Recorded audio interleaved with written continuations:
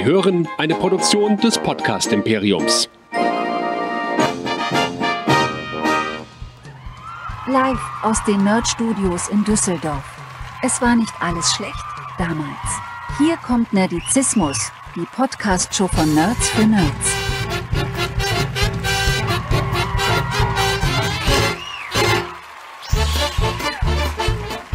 Heute mit unseren Film- und Serientipps aus 2020. Und hier sind eure Gastgeber. Hier sind alle Nerdizisten. Anja, Chris, Jenny, Lea, Michael und Javanna.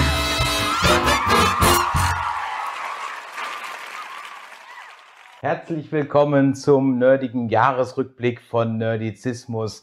Wir sind live heute auf ganz, ganz vielen Portalen, Facebook, Twitch, YouTube, Twitter angeblich sogar auch, muss ich gleich nochmal gucken im Stream. Ähm, schön, dass ihr alle eingeschaltet habt, auch ja an den Empfangsgeräten und natürlich auch in den Podcatchern. Ihr sind heute nicht alleine. Mein Name ist Chris und ich habe heute alle Nerdizisten dabei. Ähm, das Forever Nerd Girl ist da. Hallo. Unter uns sitzt mein geschätzter Nerdizist Michael. Hallo. Dann habe ich, glaube ich, äh, von mir aus dann rechts ja, sitzt Javanna. Hallo Javanna. Hallöchen. Und unter Javanna haben wir Lea und Jenny. Hallo. Hi. Ja, schön, dass es ihr geschafft Erstmal frohes Neues. Ich kam noch gar nicht dazu, euch frohes Neues zu wünschen, weil es auch gar kein Vorgespräch in dem Sinne gab, weil wir schlicht und ergreifend einfach hier nur ein bisschen mit den Vorbereitungen beschäftigt waren und deswegen noch gar nicht so dazu kamen. Also deswegen nochmal ein nerdiges, frohes neues Jahr. Kann man ja noch wünschen. Sagt man das ja. überhaupt noch so spät? Äh, also ich, ich, ich, als Friseurin bin ja mit äh, Smalltalk äh, sehr vertraut und wir sagen bis Ende Januar frohes neues Jahr. Okay, okay. Ja, dann. also officially so wie, approved. So wie wenig man seine Kollegen aktuell sieht, immer noch mal wieder nur in kleinen Team-Calls, da kann man das, glaube ich, auch ganz spät sagen. Ja. Was für Kollegen? Sowieso. Du, du, du siehst deine Kollegen nicht mehr live, ne? Du siehst sie nur noch im Teamcall, Michael. Äh, so ungefähr. Zwei Leute in der Agentur äh, und das war's dann. Oh. da, da ist eine Menge Platz. Also bei uns Drei Etagen sind leer gerade. Ja, ich bin gespannt. Ich werde am Montag wieder ins Arbeitsleben einsteigen und dann wollen wir mal schauen, wie das bei uns ist. Ich bin mir noch nicht so ganz sicher. Ja, schön, dass ihr alle also, eingeschaltet habt, ja? Also wenn ich nicht krank geschrieben wäre, müsste ich trotzdem nicht arbeiten, weil die Friseursalons zu sind. Das stimmt. Ja, man wird es man wird's in den nächsten Livestreams bei mir auch bitterlich wieder sehen. Ja, ja die Haare. Die Haare leiden. Ich, ich, bin so froh, dass ich das selber kann. Ja, hier. Äh, selber auch an dir? Gut das aufsetzen. Ja, ja, das habe ich, hab ich vor ein paar Tagen gemacht. Sonst sähe das nicht so gut, so frisch aus. ich habe, äh, ich habe ja bin ja gerade erst aus der Klinik wiedergekommen und dann wollte ich frisch und farbig ins neue Jahr starten. Habe ich aber nicht geschafft, habe ich erst im neuen Jahr dann gemacht. Aber schaut gut aus. Ja, sehr schön. Dankeschön, Dankeschön. Das ist heute das erste Mal auch äh, mal wieder ein bisschen gestylt hier.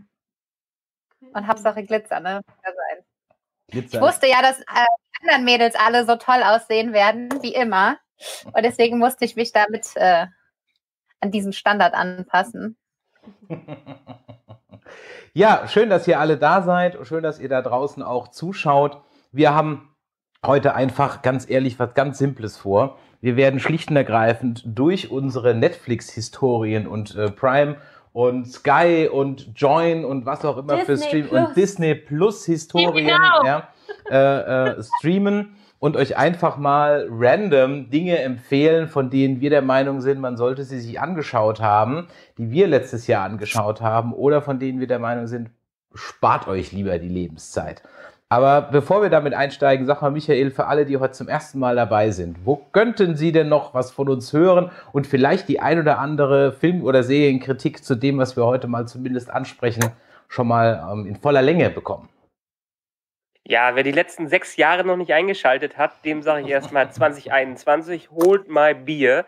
Und für alle, die das Bier trinken wollen, können gerne auf nerdizismus.de gehen, denn da findet ihr alle unsere Channels, alle unsere Verlinkungen, alle unsere Episoden und so weiter und so fort. Und das Beste, dort könnt ihr uns auch kontaktieren, denn wir freuen uns immer auch 2021 über die neuesten Botschaften von euch, euer Feedback, das ihr an info@nerdizismus.de schicken könnt, an unsere WhatsApp-Adresse 01525 964 7709. Alle, die uns hier gerade im Stream schauen, sehen das auch hier alles um uns herum. Oder, wo wir gerade drüber sprechen, äh, seit ein paar Monaten haben wir auch einen schönen Discord, nerdizismus.de slash Discord. Da könnt ihr mal fleißig mit allen, die dabei sind, mitdiskutieren.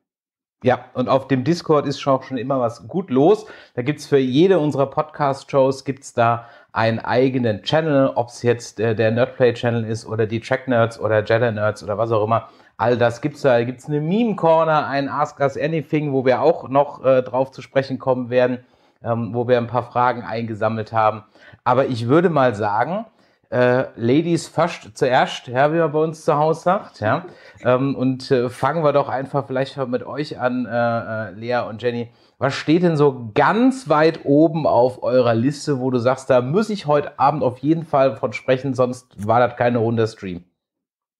Definitiv die Serie Never Have I Ever. Äh, die heißt auf Deutsch noch nie in meinem Leben und das war mein absolutes Mega-Highlight letztes Jahr.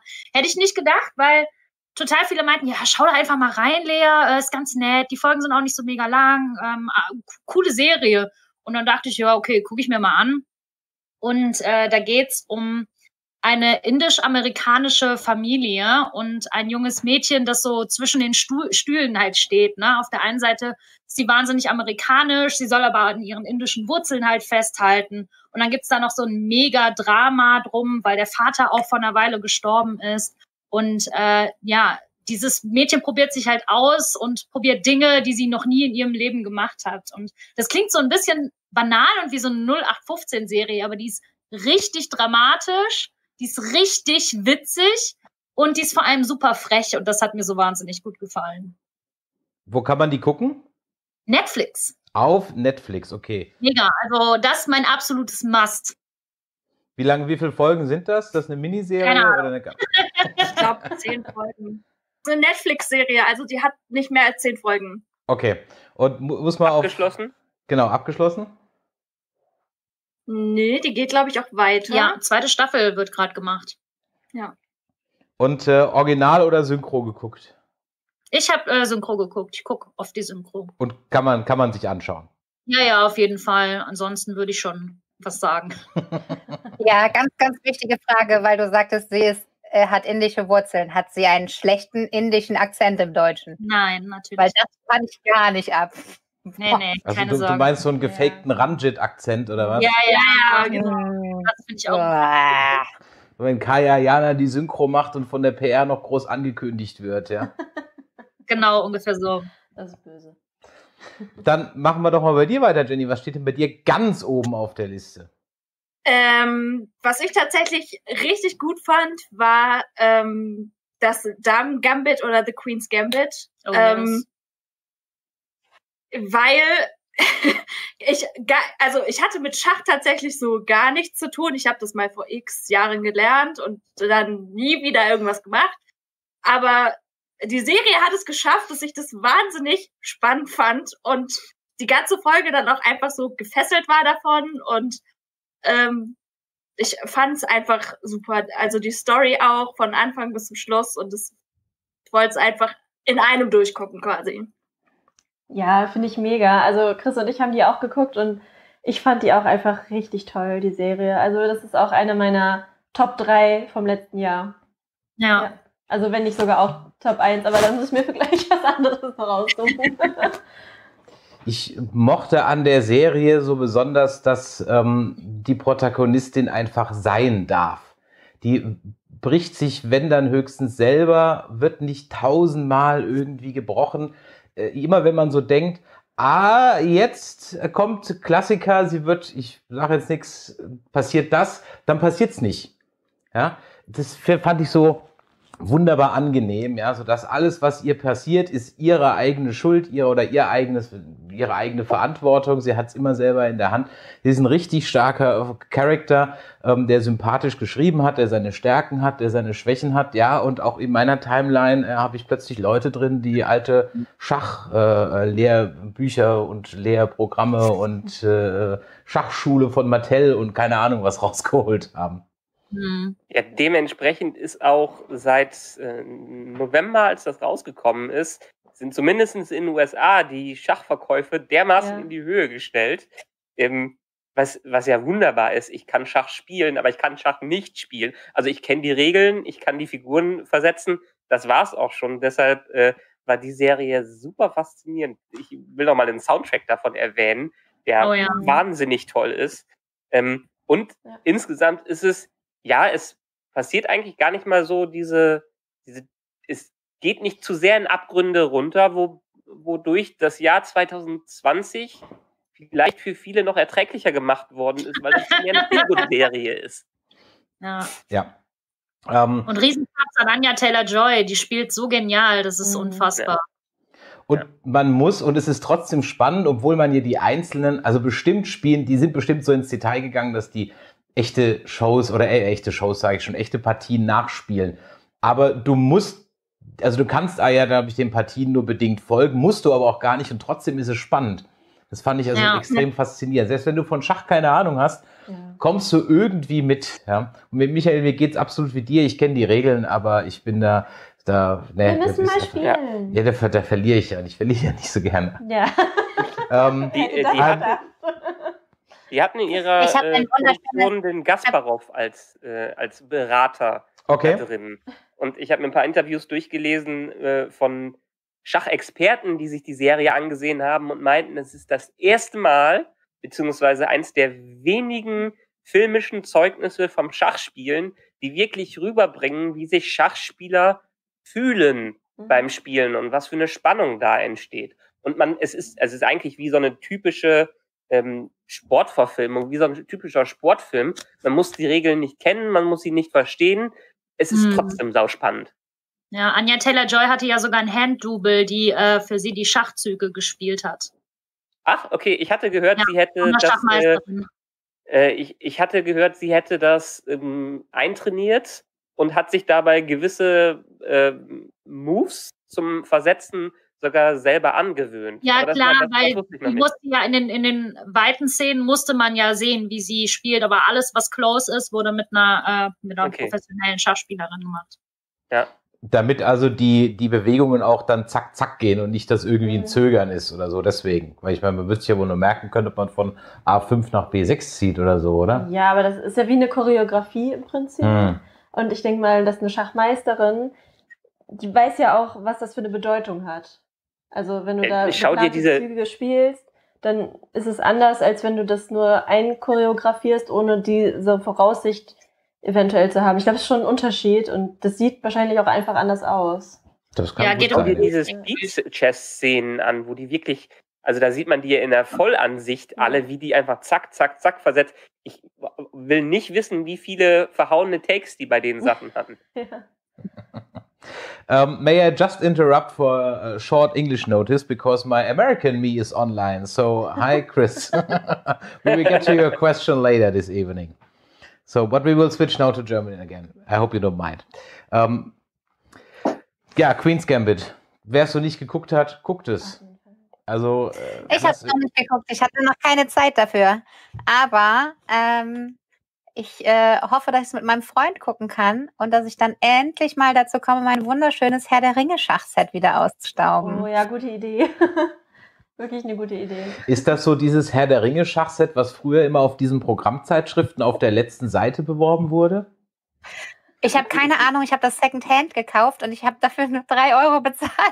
Okay, das Aber es hat diese echten Figuren, das hat diese echten schönen, also ungefähr so groß sind die Figuren und die sind äh, äh, sehr schön und bemalt und so und die äh, unsere ähm, Bücherei, die Stadtbücherei bei uns hier, Stadtbibliothek, die ähm, machen immer Anfang des Jahres einen Verkauf von Sachen, die halt, wo dann die Hülle ein bisschen kaputt ist oder so und da habe ich mir das gekauft.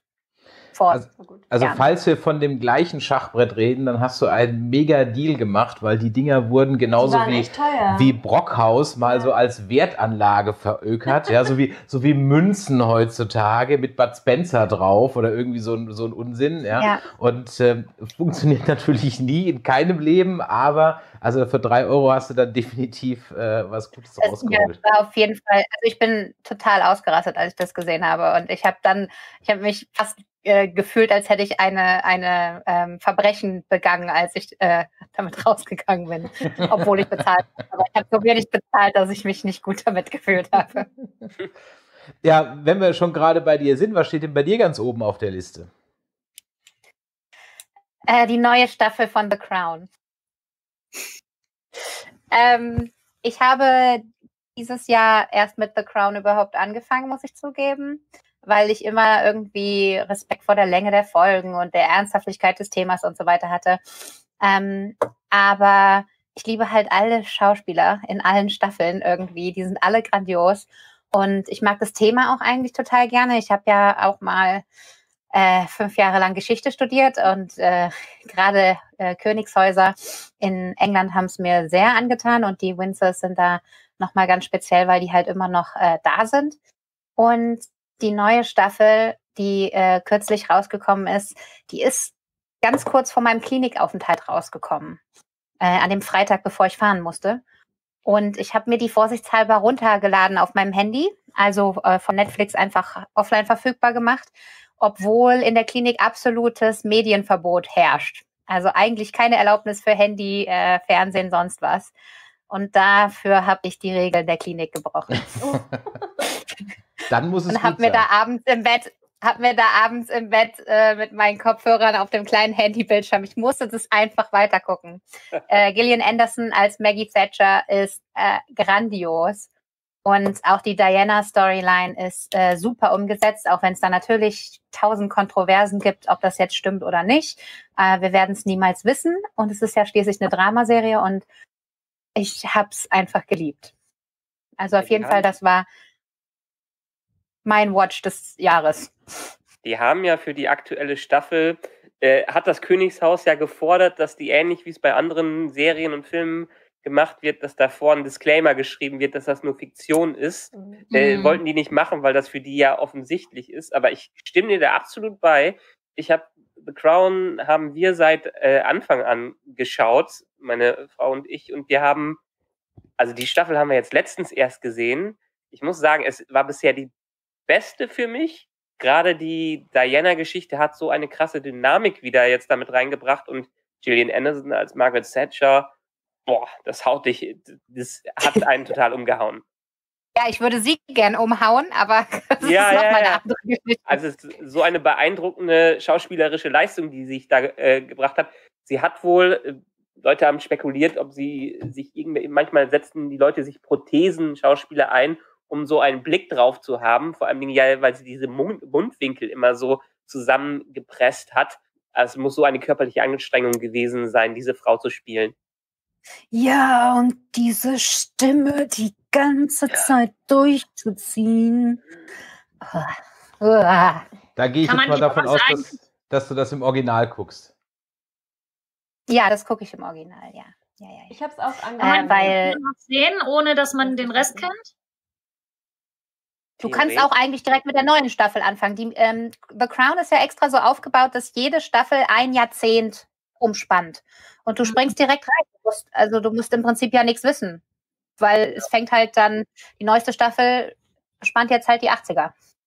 Genau, und ähm, es ist sogar fast jede Folge so aufgebaut, dass die in sich abgeschlossen ist. Es bringt natürlich eine gewisse Tiefe dazu, die Sachen vorher zu kennen, aber da für die meisten ja das Thema Windsors und anderes drumherum einigermaßen bekannt sein sollte, könnte man theoretisch auch sogar da einsteigen und dann alles nachholen.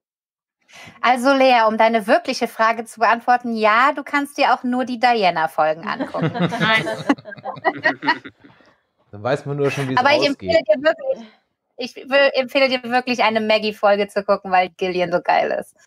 Wer spielt denn Queen Mum? Ich war ja, ich habe ja nichts mit den Royals am Hut, aber Queen Mum fand ich immer super. Wer, wer spielt Queen Mum? In dieser Staffel ähm, Olivia Coleman? Nein, Queen Mom ist ihre Ach so, Mutter. Queen Mom. Achso, Queen Mom. Entschuldigung, hast ja recht. Äh, Deswegen bin ich auch gerade schon. Äh, ja. aber das niemand, weiß ich nicht auswendig. Okay, niemand, niemand den man jetzt kennt. Die, aber die ist gut. Hauptsache, sie trinkt ähm, pro Folge ein Glas Gin, da bin ich schon zufrieden. Ja, die, äh, die, die macht Sache vor allem die, die geilsten konservativen, äh, borderline rassistischen Kommentare aus dem Off. Genau deswegen möchte ich sie sehen. Die, ähm, Wir können es gerne zusammen gucken. Na, mal gucken, mal, mal, mal, mal schauen. Ja. Das Besondere an der Serie ist ja, dass sie alle zwei Staffeln quasi den Cast komplett einmal auswechseln, gerade weil die ja diese Zeitsprünge machen. Mhm. Ähm, äh, in, der nächsten, in den nächsten zwei Staffeln wird äh, die Queen von der Schauspielerin gespielt, die auch die Umbridge in den Harry Potter-Filmen gespielt hat. Ah ja, mhm. Ja, ich glaube, das passt eigentlich ganz gut. So, mhm die hat so eine ähnliche Gesichtsform und wenn sie die, die Haare so stylen, so ich denke, das passt gut, ja. Ja, Michael, dann sind wir mal bei dir angekommen. Was steht denn bei dir ganz oben auf der Liste? Ja, eigentlich Queen's Gambit, muss ich sagen. Äh, auch so zuletzt in diesem Jahr gelaufen.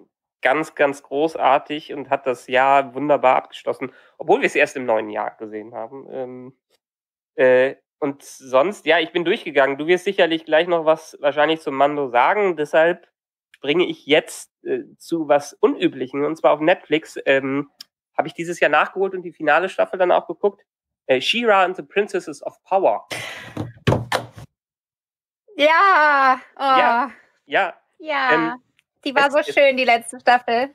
Ja, es, es mag kurios äh, klingen, äh, äh aber nein, die Serie ist, ähm, alle, die nur ansatzweise sowas mit Cartoons anfangen können, äh, sollten dieser Serie eine Chance geben. Die erste Staffel braucht ein bisschen, um reinzukommen, aber da ist mal wieder dieses typische Worldbuilding wird da äh, gemacht und es äh, ist alles am Anfang noch ziemlich glitzermäßig, aber im späteren Verlauf äh, dringt die so in die Tiefe und Psyche der Figuren ein und äh, erzählt so komplexe und herzzerbrechende Stories und auch spannende Stories, die auch episch werden, dass man die einfach wunderbar durchbingen kann und von Staffel zu Staffel wird die Animationsqualität auch immer besser, bis man am Ende sagt, äh, wow, da habe ich jetzt was richtig, richtig Gutes gesehen. Basiert, ähm, naja, so lose auf in der Tat der 80er Jahre She-Ra-Serie, die äh, so ein Spin-off von He-Man gewesen ist. Ähm, Aber anders als in der 80er Jahre Sendung haben wir hier nicht überall Barbie-Figuren, sondern Diversität in Körperform genau. äh, und Aussehen allgemein, Haarfarben, Körp äh, Hautfarben, Herkunftsgeschichten ja. und allem. Ja, genau. Das, äh, diese Serie ist unglaublich vielfältig und divers in allen Charakteren. Ähm, und ja, ist auch, also ist ein gewisser Kitsch, ist ein gewisser Grundkitsch drin, aber hat nicht, auch nicht mehr viel zum Beispiel mit dem He-Man-Mythos zu tun. Viele haben lange spekuliert, ob sie es nicht irgendwann doch zu einer He-Man-Serie verbinden, aber nee, das Ding steht komplett auf eigenen Füßen und das, hatte, das hat es auch verdient, auf eigenen Füßen zu stehen und hat eine der besten Bösewicht-Redemption-Arc-Stories, die es in irgendeiner Serie gibt. Wie Hordak wird gut? Ich verrate nichts. Oh, jetzt ist, jetzt wir das es geht nicht unbedingt in, um die Männer in dieser Serie. Gibt es denn wenigstens nach jeder Folge noch eine Moral? In der heutigen Folge haben wir gelernt, dass Stehlen sich nicht lohnt. Ja, schaut Orko an. Nein, dies, diesmal nicht. Das ist ähm, mehr oder weniger, es gibt ein paar Standalone-Episoden, aber es baut schon stark seriell aufeinander auf. Okay. Ja, dann äh, was hast du dir denn rausgesucht aus dieser ja. ultralangen Liste, an der ich mal locker eine halbe Stunde saß, um die so zu, zu sortieren und zu ordnen? Tatsächlich. Ja. Naja, also, äh, die Jenny hat es ja schon ein bisschen vorweggenommen. Also, mein Highlight des Jahres war auf jeden Fall ähm, Queen's Gambit. Fand ich einfach richtig, richtig gut. Ähm, gefolgt davon wäre der Mandalorian, aber das überlasse ich dir gleich gerne dir. Ähm, ich kann nur sagen, ich habe bei beiden Serien am Ende geweint, weil es so schön war. ja. Und ähm, dann habe ich jetzt gerade noch mal die Liste durchgegangen und da ist mir auch aufgefallen, ähm, wir haben ja wirklich sehr viele Dinge geguckt, so im Allgemeinen. Ja. Wir haben sehr viele Filme vor allen Dingen geguckt.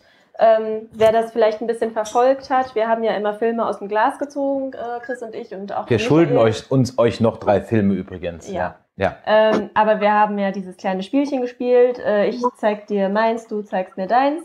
Ähm, und da haben wir wirklich sehr viel geschaut. Ähm, aber was äh, ich noch alleine geguckt habe, ähm, war jetzt im letzten Jahr die äh, dritte Staffel von Good Girls. Und Good Girls ist Mega. eine wirklich richtig tolle, starke Serie, ähm, wo es um drei Frauen geht, ähm, die Geldprobleme haben und dann in der ersten Staffel anfangen, ähm, ja, einen Laden auszurauben. Und ja, das äh, entwickelt sich dann bis in Staffel 3 zu noch anderen kriminellen Machenschaften. Und es ist eine sehr witzige Serie, aber es ist auch eine sehr dramatische Serie. Und ähm, da haben wir auch einen sehr diversen Cast. Und die Serie macht einfach Spaß. Also die hat mir auch wirklich sehr gut gefallen. Läuft wo? Ja, mega Staffelfinale. Ja, Auf Netflix. Netflix. Hast du die auch wieder im Original geguckt? Ja, ich gucke die auf Englisch. So, jetzt muss ich mal durch meine Liste gehen. Ähm, wir besprechen. Jetzt was von Mandalorian. Äh, ja, aber ich will, ich wollte, ich dachte, bevor wir über Mandalorian reden, könnte ich auch mal gucken, wo ist denn jetzt hier ähm, meine Liste. Wir können natürlich auch über Man Ah, hier genau. Da komme ich Du, drauf. ich habe eine äh, sehr lange Liste. Ja, ja, ich weiß, ich weiß, ich weiß. Über die, über, über den, also Mandalorian steht natürlich ganz klar um. Ich war ein bisschen enttäuscht vom, ähm, vom, ähm, von Fargo. Aber ich muss ganz ehrlich sagen, mein absolutes unerwartetes Highlight dieses Jahr, und ich bin so ein bisschen zum Doku-Gucker geworden, ist halt leider, ist halt leider Großkatzen und ihre Raubtiere, beziehungsweise Joe Exotic. Ja, ich muss ganz ehrlich sagen, der Tiger King, der Tiger King hat es einfach so unglaublich gerockt, weil ich im Leben, egal ob das geskriptet ist oder e- echt ist, I don't fucking care. Ähm, es war unglaublich. Niemals im Leben hätte ich gedacht, dass aus dieser ersten halben Stunde, die ich da geguckt habe, sich dieses unglaublich bizarre, ab, menschliche Abgründe aufwerfende Typen, die in, also die, die Coen-Brüder können sich solche Typen nicht ausdenken, ja. ähm, unglaublich, äh, diese Serie Großkatzen und ihre, ähm, und ihre Raubtiere sind 1, 2, 3, 4, 5, 6, 7, 8 äh, Folgen. Äh, worum geht's für alle, die es nicht geguckt haben? Äh, in den USA ist es leider, muss man sagen, ähm, relativ leicht. Da muss wohl irgendwie nur einfach genug Kohle auf den Tisch legen und auch davon auch vielleicht doch gar nicht mal so viel, sich Tiger und andere Großkatzen zu halten. Also gibt es in den abgelegensten Käffern leider entsprechend auch ja, Wildtierparks, wo völlig unartgerecht halt eben Tiger und Löwen und Leoparden und keine Ahnung was gehalten werden. Und ähm, die Doku, sofern sie echt ist, und sie ist in Teilen auf jeden Fall äh, echt, denn die Protagonisten gibt's alle wirklich, ähm, handelt von ja, konkurrierenden äh, Tierparkbesitzern. Ähm, es wird dann noch jemand umgebracht, ein äh, Ehemann verschwindet, ähm, äh, äh, Drogenmissbrauch, Waffenschieberei, es ist alles dabei und es ist Typen, äh, also allein Joe Exotic, der übrigens bei Donald Trump gefragt hat, ob er ihn begnadigen möchte, also nicht mal, also nicht mal Donald Trump hat Joe Exotic begnadigt und er hat gerade jeden begnadigt, ja, der bei drei nicht auf dem Baum war. Deswegen muss ich an der Stelle wirklich ein ganz klares äh, äh, Daumen hoch aussprechen für Großkatzen und ihre Raubtiere und natürlich, ähm, das muss man allerdings ähm, mit Untertiteln gucken denn das ist schon ein ziemlicher Heavy-Akzent, den die da äh, äh, sprechen. Da kommst du ohne Untertitel, ehrlich gesagt. Bin ich, bin ich Ist da das raus. ja. Deutschen feier das so ab. Ich feiere das so ab. Gerade den Akzent und wie die alle, die sind solche Hillbilly Redneck, äh, hinterste Kaffecken äh, Landeier. Es ist grandios. Und was ich an, ähm, an der Tiger King Sache halt auch äh, krass fand, ist, ich bin eigentlich überhaupt kein Fan von diesem äh, True Crime Kram. Also ich mag die Geschichten, aber ich mag das Format nicht so gerne mit diesem immer äh, den den ähm, Confidentials und so, das ist eigentlich nicht mein Ding, aber ich konnte nicht wegschalten und ich konnte auch nicht weggucken und es war einfach grandios. Also, und mir ich bin genau der festen das Überzeugung. dass ich irgendwie nach einer Folge schon keinen Bock mehr hatte, weil ich dachte so, hä, und das war's jetzt? Also fand ich jetzt nicht so krass, wie alle erzählt haben, dass es so krass wäre. Es, es wird noch, es wird noch kurioser und es wird, ist in der Tat irgendwann wie bei wie ein Unfall, bei dem man nicht weggucken kann, bei dem man gezwungen wird, dass seine Augen am Bildschirm heften bleiben. Ich wollte es mir auch nicht antun. Ich habe auch die erste Folge ge- gesehen und dachte, mh, äh, meine Frau hat nicht mehr weiter mitgeguckt. Ich habe es dann alleine geguckt. Ja, wie bei dachte, uns. äh, what Hast du the überhaupt mal reingeschaut? fuck? Hast Ich habe ab und zu gesehen, wie du es gesehen hast. Und dann zwischendurch stand ich dann im Wohnzimmer so. Was, was guckst du da? Was ist das? Was Ja, das? Aber so habe ich mich selber auch gefühlt. Also was gucke ich da? Warum Ja. gucke ich das? Warum? Aber also ich bin jetzt am Ende tatsächlich auch davon überzeugt, dass Carol Baskin ihren Ehemann umgebracht hat. Ja. Also ich, kann, ich kann nicht anders. Ich bin fest davon überzeugt. es, es muss so sein. Und der einzig Normale in der ganzen Serie ist der Typ, dem ein Bein fehlt.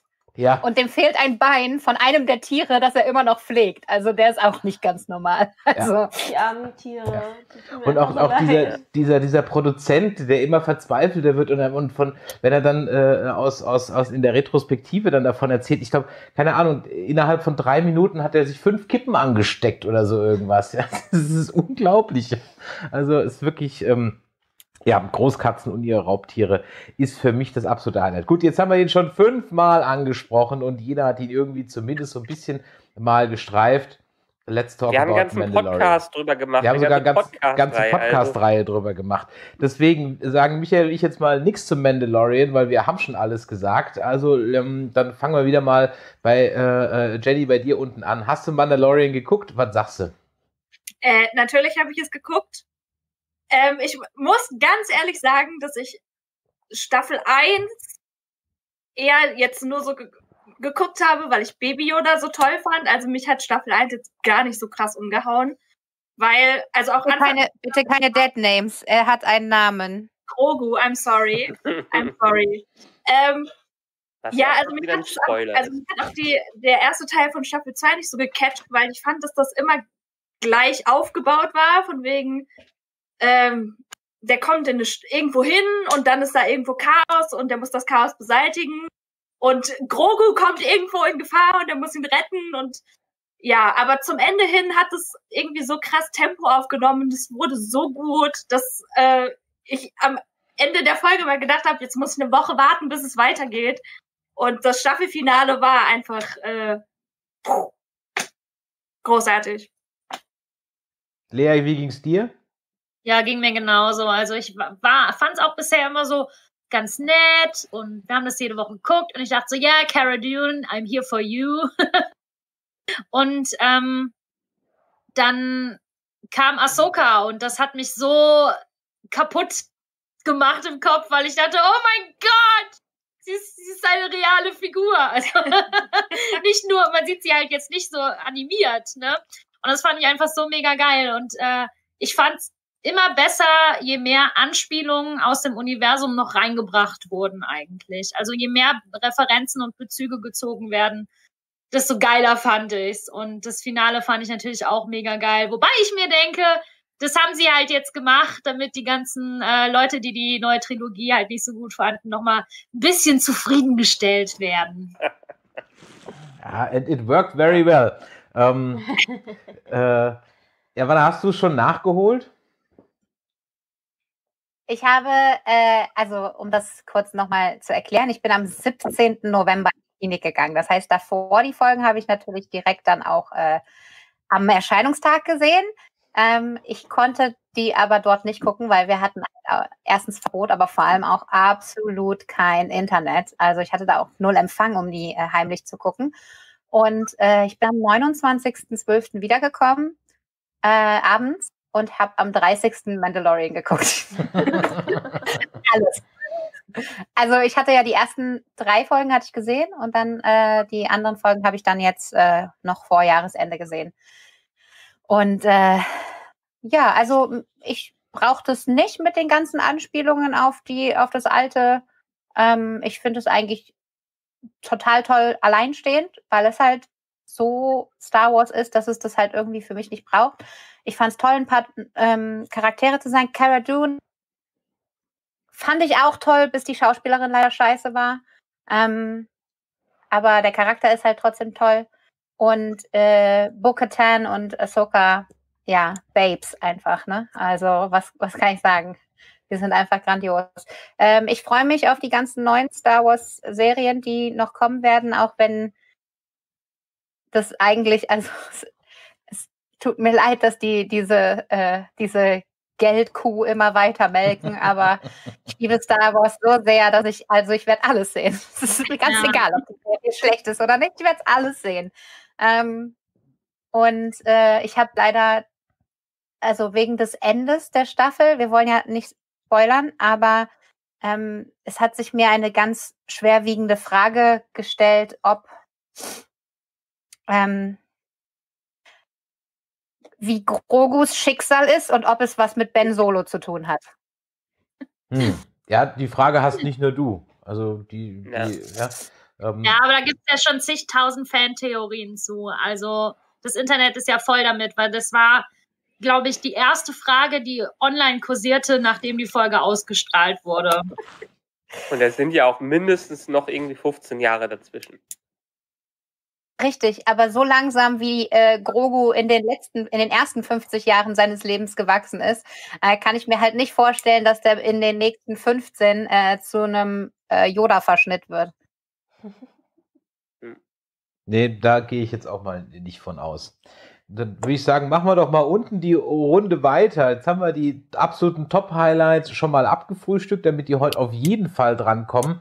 Ähm, Gibt es denn auch einen Flop, wo ihr sagt, Leute, lass die Finger weg?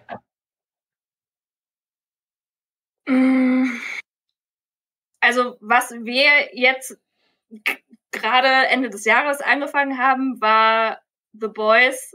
Das fand ich jetzt zum Beispiel gar nicht so geil. Oh, du musst weiter gucken. Ich fand es tatsächlich ziemlich langweilig und so. vorhersehbar. So und das, keine, also keine Ahnung, mich hat das einfach überhaupt nicht abgeholt. Ich hab, weiß ich nicht. Ich finde es auch sehr vorhersehbar. Ja. Alles. Also alles, was ich mir dachte, so ja, das passiert jetzt, ist dann auch tatsächlich passiert. seid, ihr schon in der, seid ihr schon in der zweiten Staffel oder habt ihr jetzt gerade die erste? Wir haben die erste Staffel gesehen und wissen auch noch nicht, ob wir die zweite gucken wollen. Okay.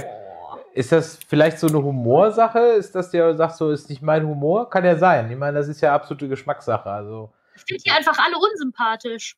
Ich kann zu niemandem Sympathie aufbauen. Die ja. sind alle schrecklich. Richtig. Ja. Staffel 2 also nimmt nochmal ein bisschen einen anderen Verlauf.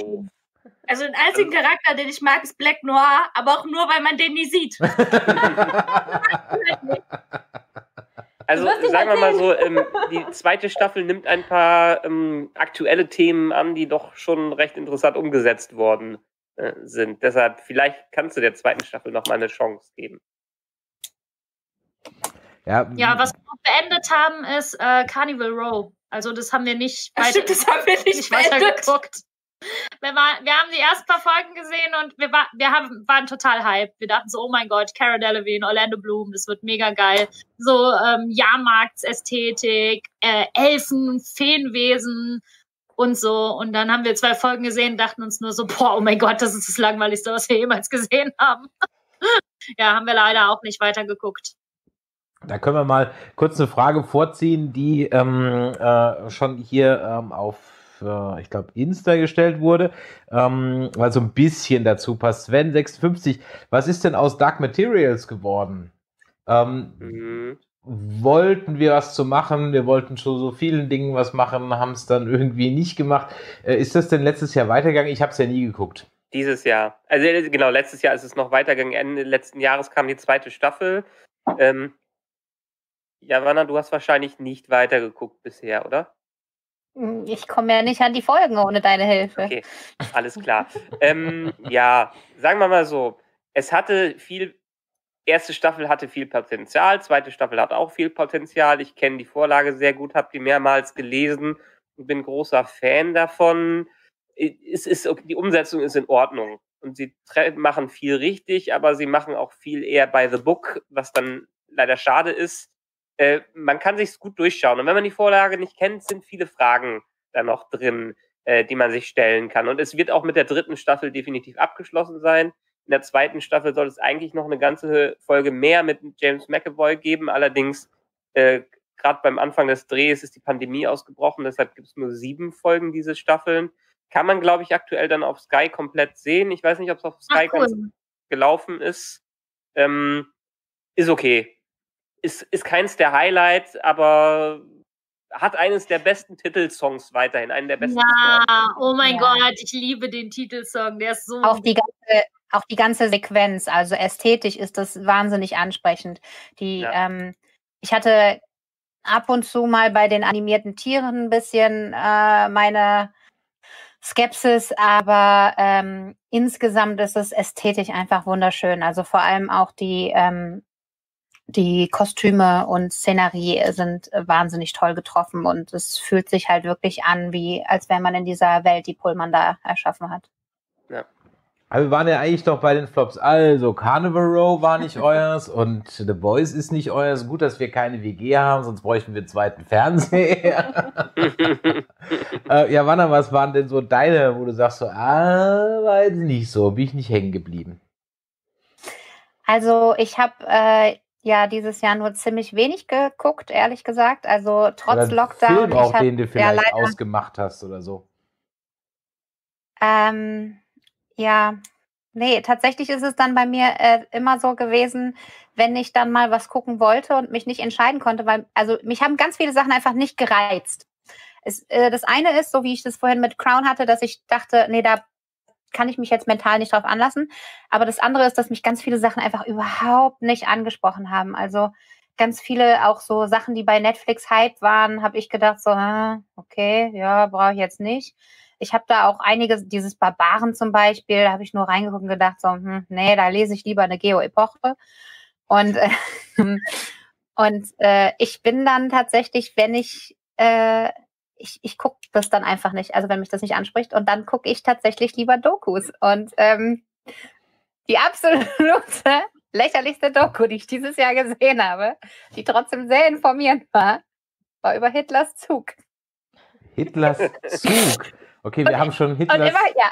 Hitlers Socken, Hitlers Fliegenfänger, Hitlers Unterhosen. Der Führer hatte nur ein Ei. Was zum Henker ist Hitlers Zug? Also Hitler hatte ja so eine Eisenbahn, ne? Und ja. die war eigentlich ziemlich cool, weil damit konnten die halt äh, in eine Stadt reinfahren und innerhalb von 20 Minuten hatten die da ein Hauptquartier aufgebaut, so mit Funk und allem, was damals halt der heiße Scheiß war. Und die Alliierten haben sich ständig gefragt, weil da gab es einen Waggon, der war über 200 Kilogramm schwer. Und die haben sich ja äh, über zwei Tonnen. Ja, jedenfalls haben die sich die ganze Zeit gefragt, was ist da drin? Ist da ein Nuklearreaktor oder ein Waffenarsenal oder was auch immer? Und hat sich nachher herausgestellt, der hatte einfach da drin, das war der Waggon, wo sich Hitlers persönliches Badezimmer befand, das einfach komplett mit Marmor ausgelegt war. Und deswegen war das so schwer. Wow. das war, oh mein Gott. Das war einfach, also, das habe ich nicht kommen sehen. Ich auch Gerüchte, dass das ein Goldwaggon sein sollte, ein Goldzug.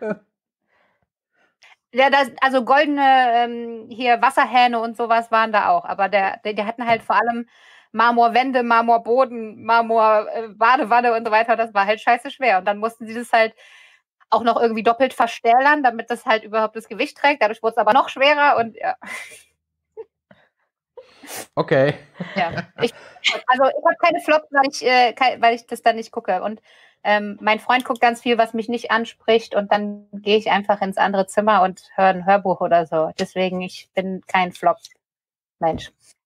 Wie viel hast du einen Flop? Äh, leider divers. ähm, ich muss noch eine Honorable, Honorable Mention machen für äh, beste Serie, weil waren dieses Jahr ein paar gute. Ich habe hab auch noch ganz viele beste Serien. Ja, wir haben, wir, haben, wir haben jede Menge Zeit, liebe Leute. Ein, eins, was man noch erwähnen sollte, wo wir aber nicht in Detail eingehen brauchen, weil eigentlich jeder weiß, dass es gut ist, äh, ist immer noch eine der besten Serien, Better Call Saul. Die Staffel hat man vielleicht schon wieder vergessen, dass es gelaufen ist, aber es ist eine der bestgeschriebensten Serien überhaupt.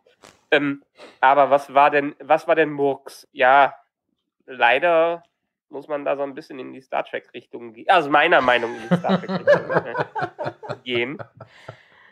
Ähm, Mach das Fass diese, heute nicht auf. Mach das Fass ja, heute okay. nicht auf. Wir, wir haben es wir im Discovery Podcast schon gesagt. Äh, ja. äh, er hat gut angefangen, dritte Staffel, hat dann am Ende leider, ist noch nicht ganz zu Ende, etwas enttäuscht. Picard hatte auch Potenzial, aber war dann eher eine, eine Gurke.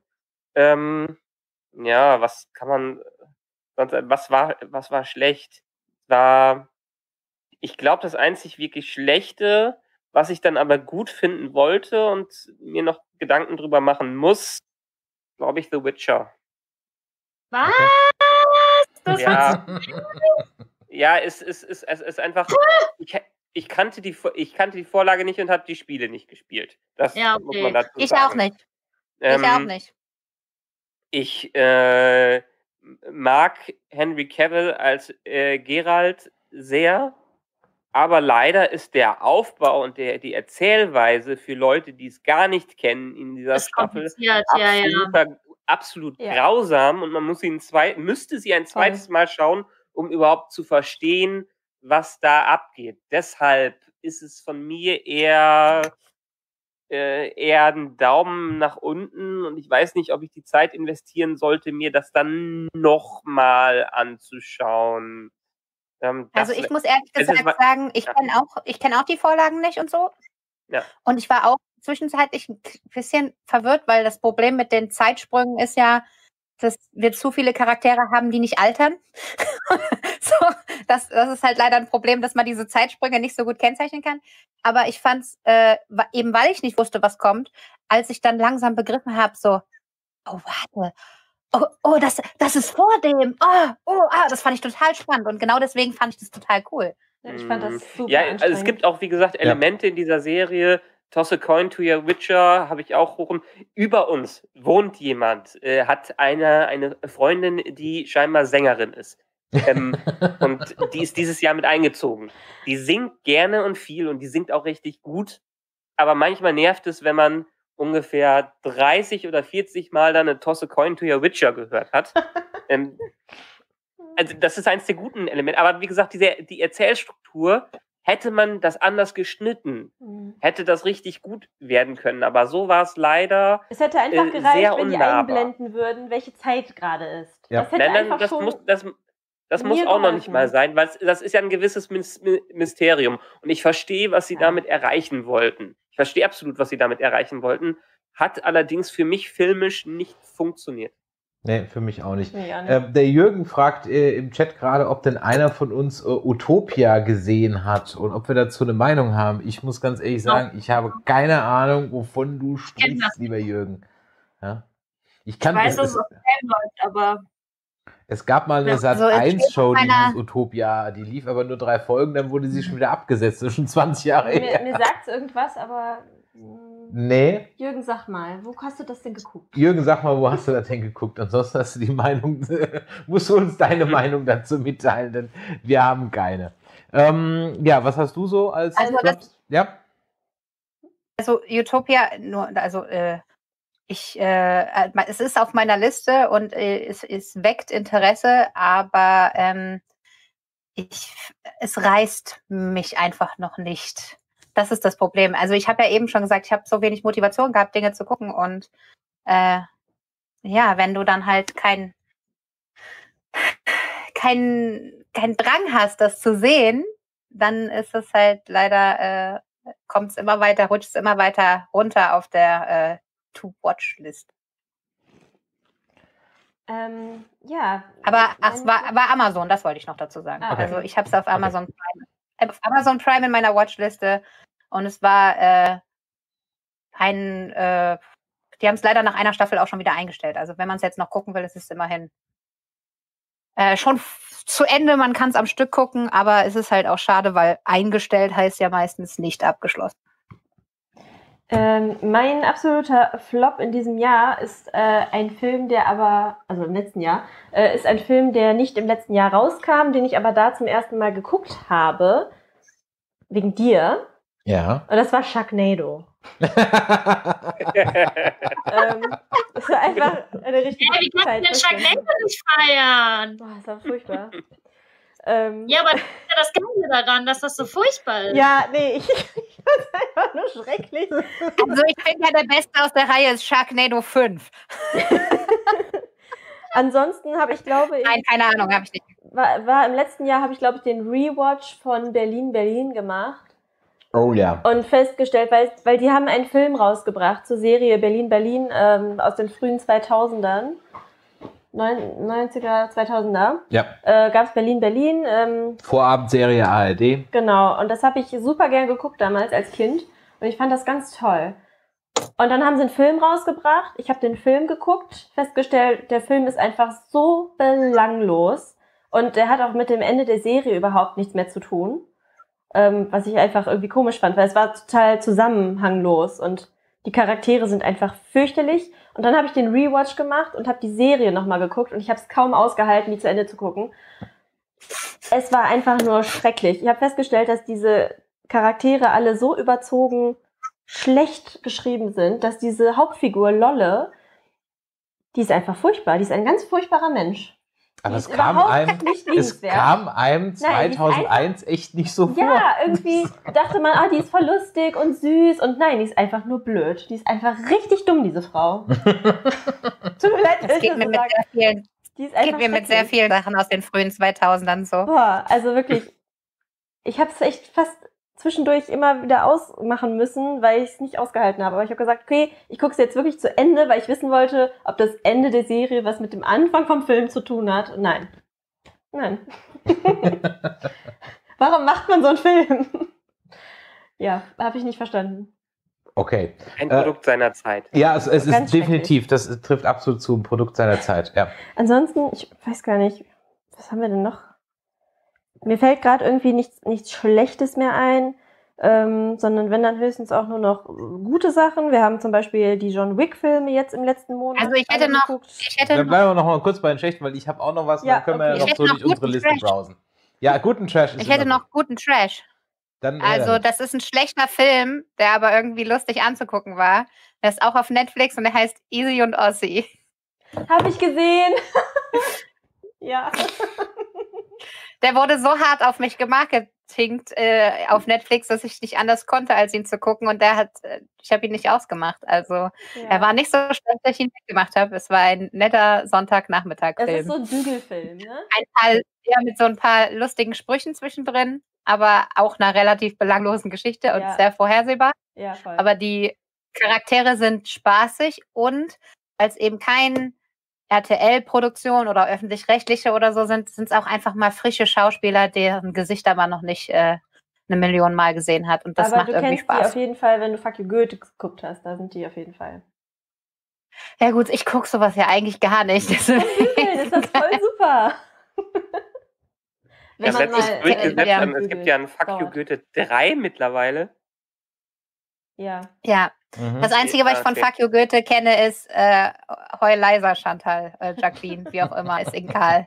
Heu leiser, das finde ich super. ich muss auch gestehen, ich habe noch nicht einen einzigen Fuck You Goethe-Teil gesehen. Sind auch belanglos. Der erste ist gut, den ersten kann man sich gut ansehen. Ja, der ist ganz Ich, ich höre schon deutsche belanglos. Komödie und bin halt schon raus. Ja, also das ist. Äh, Ich fand es schrecklich. Ich fand es war eine Beleidigung.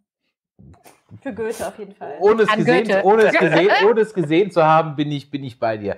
Ähm, mein äh, Flop, muss ich ganz ehrlich sagen, also weil die Fallhöhe so hoch war, wäre das nicht so riesig promotet worden, hätte ich es vielleicht gar nicht so kritisch bewertet, war leider die Barbaren. Ja. Das war also ganz großer Käse. Also die haben sich da bestimmt Mühe gegeben etc., aber das will ein Vikings sein und es ist zu keinem Zeitpunkt, es will ein Gladiator sein, es ist zu keinem Ist Zeitpunkt. halt Terra Du X hast- Doku. Genau, du hast die ganze Zeit, denkst du, jetzt kommt gleich Guido Knopp oder Harald Lesch und erzählt uns, was wir da gerade gesehen haben. Ja.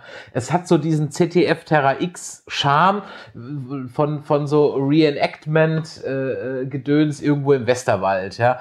Also, nee.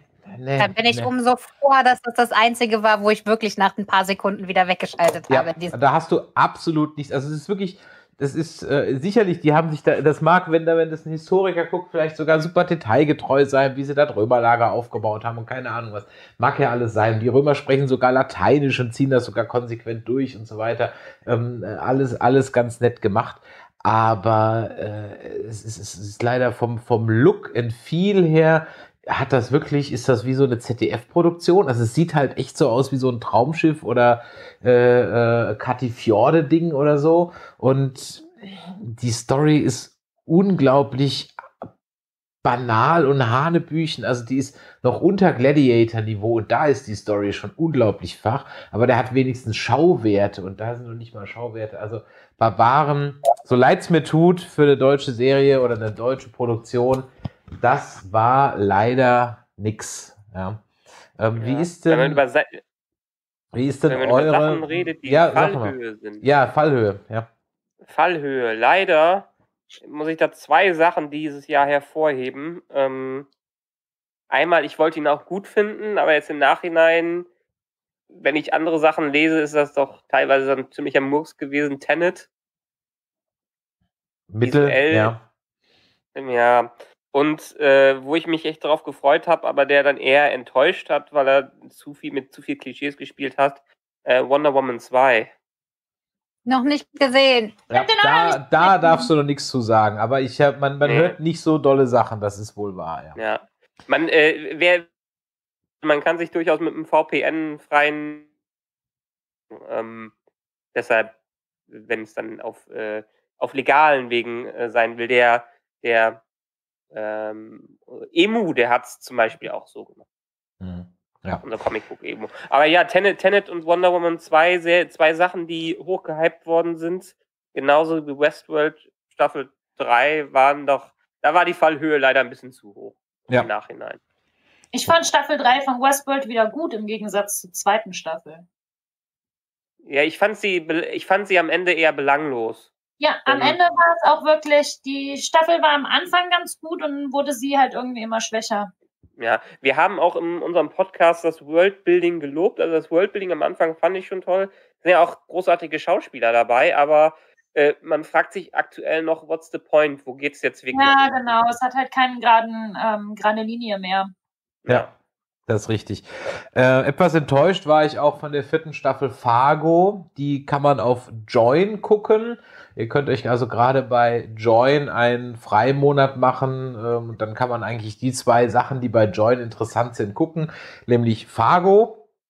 Ähm, die vierte Staffel ist eine Anthology-Serie, hat mit dem Fargo-Film nichts zu tun, außer dass, sage ich mal, die Skurrilität der Charakter und so diese äh, etwas abgedrehte Erzählweise der Coen-Brüder, ähm, die muss einem schon liegen. Aber wenn einem das liegt, ist man bei Fargo eigentlich richtig. Von allen vier Staffeln ist das allerdings die schwächste, weil es am Ende einfach nur eine Gangster-Story ist, ähm, die man schon tausendmal gesehen hat. Also von daher schade. Dafür habe ich dann aber auf Join nachgeholt und dafür lohnt sich der Freimonat absolut. Und wie gesagt, ihr könnt danach sofort wieder kündigen. Ähm, What We Do in the Shadows. Leck mich am Arsch, was hab ich mich weggeworfen vor Lachen. Unglaublich lustig, unglaublich ja. lustig. What We Do in the Shadows. Basiert auf ja. dem Film ähm, Vier Zimmer Küche sagt. Ja, ich sehe schon, der auch ich bin What nicht der Einzige. The Shadows im Englischen heißt. Die, die Cameos, das ist durchdacht von der ersten Folge bis zur letzten Folge von der zweiten Staffel. Ihr könnt zwei Staffeln auf äh, gucken. Mega geil. Die erste Staffel fand war sehr, war noch sehr schwach, die musste erstmal ja. ankommen, aber zweite Hammer. So unfassbar gut. Die kann man auf Join gucken. Ja, auf ja. Join, ja. Wie gesagt, also erste fand ich auch gut. Ist, ist halt alles, was Taika Waititi macht. Das, der Kerl hat es einfach drauf. Deshalb ja. gut zu wissen, dass es die da gibt.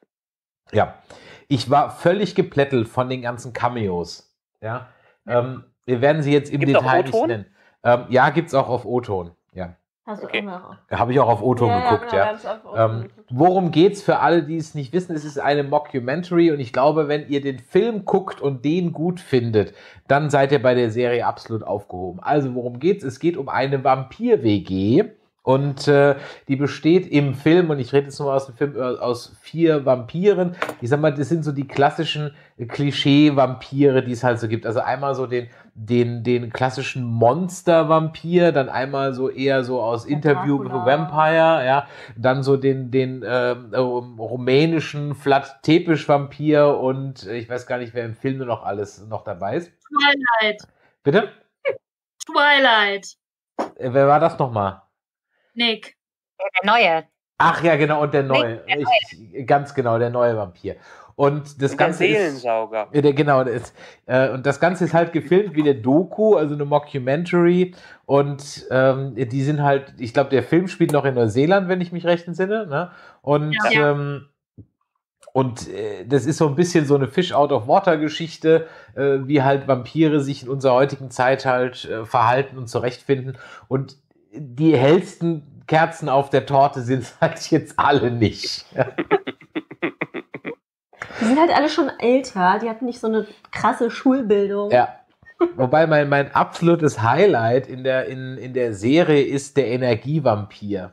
Ich habe gerade vergessen, wie er heißt. Gary. Das ist das Langweiligste an der Serie.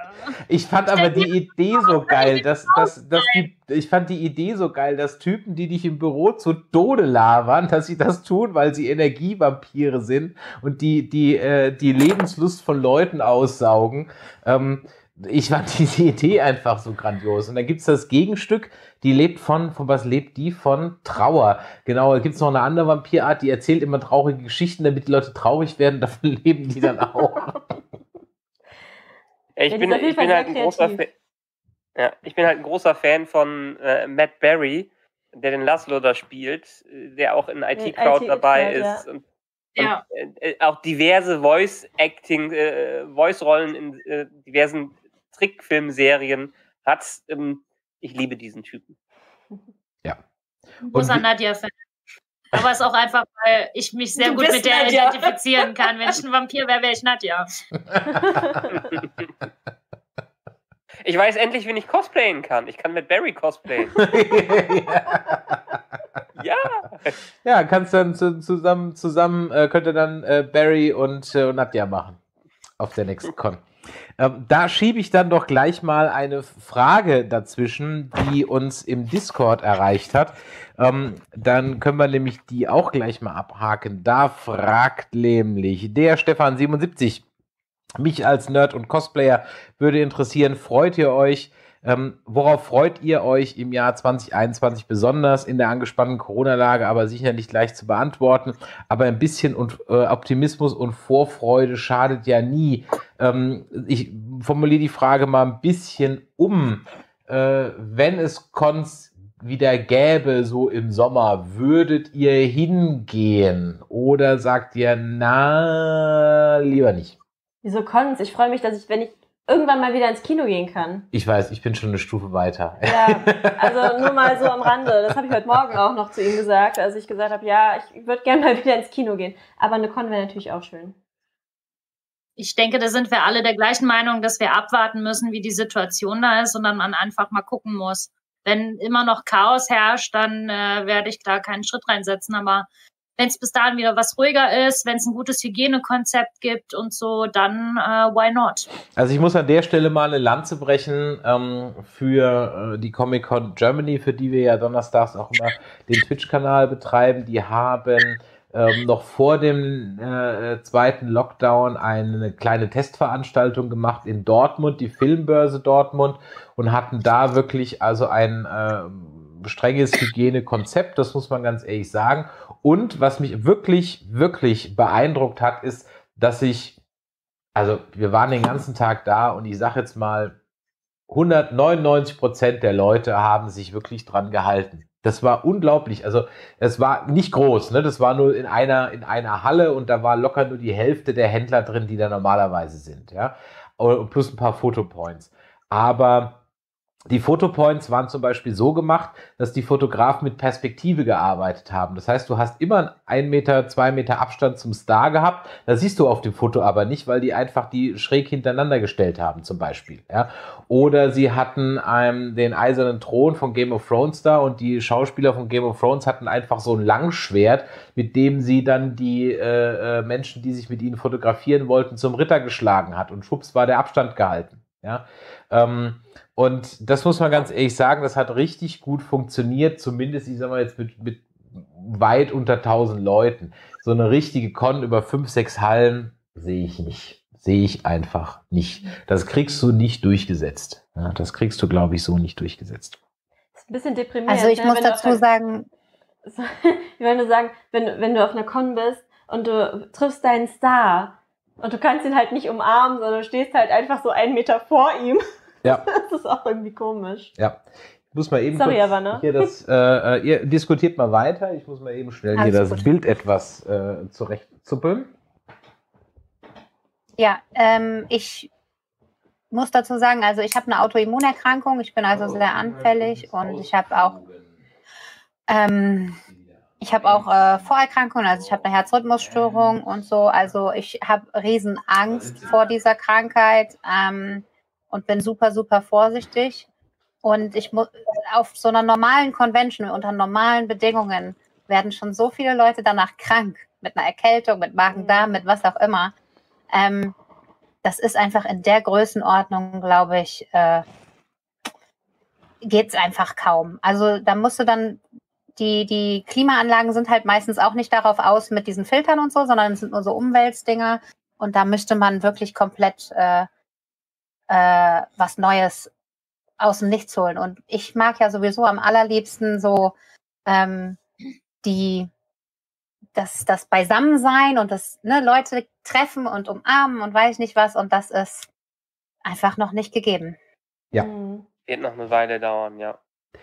Dann würde ich sagen, ähm, macht jeder jetzt noch mal aus seiner Liste noch einen Tipp und, äh, und Serien dann oder, oder auch gerne noch einen Film. Dann haben wir hier noch ein paar Fragen und dann würde ich mal gerne von allen, die im Chat sind, auch mal wissen, schreibt doch mal eure Serien-Tops und Flops rein. Dann können wir ja da vielleicht auch noch mal kurz drüber sprechen. Michael, fangen wir bei dir mal an. Ähm, was äh, hast du denn noch als äh, auf der Liste, wo du sagst, muss ich eben noch Ich- kurz erwähnen? Ich gehe ganz schnell durch. Ähm, was du mir auch empfohlen hast, The Americans habe ich gebinged. Wunderbar.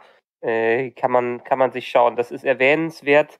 Ähm, an Filmen hatte ich so noch gar nicht. Äh, an Filmen, äh, mein Highlight, eins der Highlights, 1917. Bester Ja. Film! So, ich glaube, ich glaub, da, Ja. rennst, da rennst du offene Türen. Ja.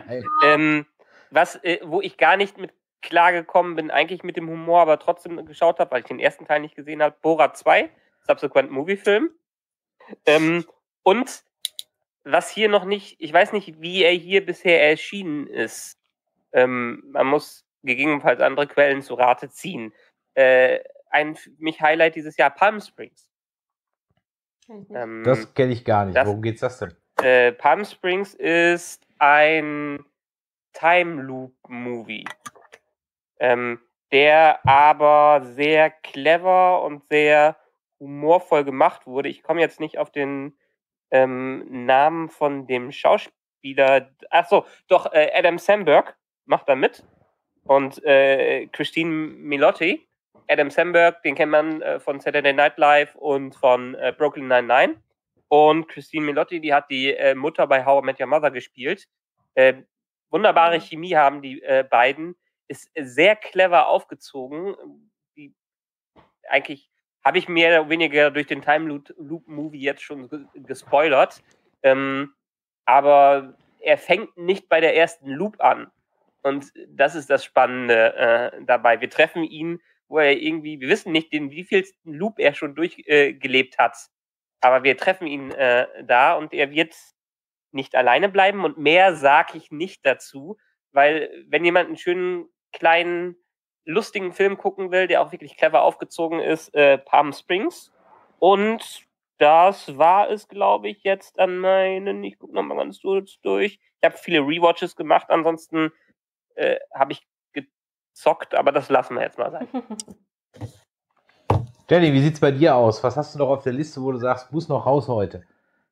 Ähm, ja, mein Number One to Go wäre auf jeden Fall auch 1917 gewesen, weil das für mich der beste Film war, den ich letztes Jahr gesehen habe. Ich habe den sogar noch viermal im Kino gesehen letztes Jahr. Also das äh, will schon was heißen. Und, Ganz ehrlich, ähm, da beneide ich dich drum, dass du dieses, also ich fand den auch wirklich gut, aber ich glaube, ich fand den auch nur gut, wie sagen wir da, zwei plus, weil Schlecht. mir, ja, weil mir dieses, weil das ist, das ist ein Kinofilm. Made for ja. Cinema. Auf einem sehr großen Fernseher mit einer guten Soundbar. hätte ich, hätte ich sogar, aber das ist was für ein Kino. Das, dieses immersive Erlebnis hast du nicht, äh, wir haben hier 65 Zoll, selbst das äh, wir könnten so einen Beamer schmeißen, aber das ist so ein, das ist so ein Kino-Ding. Ich glaube, wenn ich aus dem Kino rausgekommen wäre, wäre ich auch platt gewesen im positiven Sinne. Ja. Kann ich verstehen.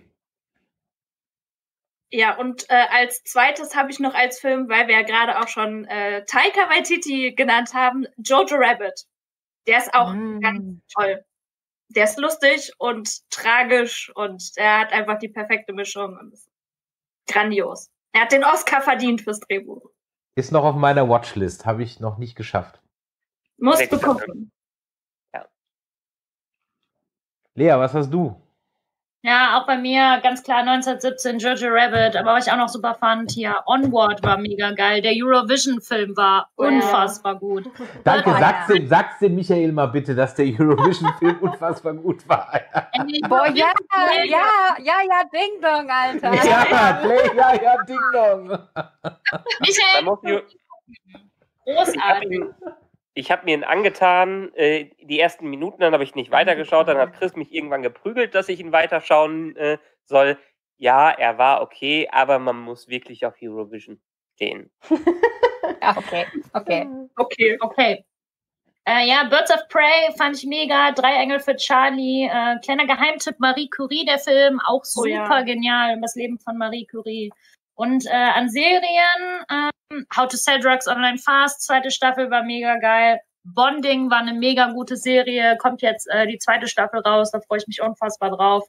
Äh, natürlich äh, Sex Education, die zweite Staffel. Ähm, The Great, die Serie, auch hammermäßig, echt super. Und natürlich Umbrella Academy, die zweite Staffel. Klaus, ich bin halt so ein Klaus-Fan. War besser als die erste Staffel, ja. Ja, Wanna, was hast du? Äh, ja, also ich kann einiges bereits Gesagtes äh, nur unterschreiben. Bei mir steht auch Sex Education und Umbrella äh, Academy ganz weit oben. Ich habe mich außerdem ähm, sehr darüber gefreut, dass es eine neue Staffel Big Mouth gab. Ich weiß nicht, ob ihr das überhaupt kennt. Das ist eine recht ordinäre Zeichentrickserie auf Netflix über pubertierende äh, junge Menschen und ihre Hormonmonster, die es aber schafft, äh, sehr, sehr wichtige Themen sehr direkt und ehrlich anzusprechen. Und äh, in der neuesten Staffel ist zusätzlich zu der schon bekannten Depressionskatze, die sich einfach nur auf dich drauflegt, damit du dich nicht mehr bewegen kannst, jetzt auch noch die Anxiety-Moskitos dazugekommen. Und äh, ich konnte mich mit dem Ganzen, obwohl es sich eigentlich um halt Frühpubertierende geht, sehr gut äh, identifizieren. Ähm, ich habe außerdem geguckt äh, Babylon Berlin, The mhm. Alienist, äh, Swedish Dicks. Das fand ich sehr lustig. Swedish Dicks kann ich empfehlen. Ähm, es gibt eine animierte Serie von den Trailer Park Boys, wenn das irgendwem was sagt. Das ist äh, ein Favorite von meinem Freund. Ähm, absolute äh, ja, Trailer Park Spackos aus Kanada. Ähm, und äh, Filme habe ich nicht so viele geguckt, außer Dokus. Es gibt eine äh, sehr, sehr geile Doku auf Netflix über äh, tanzende Vögel. Also das Balzverhalten von mhm. Vögeln und ihre Tänze. Und das hat mich aus dem tiefsten Loch rausgeholt.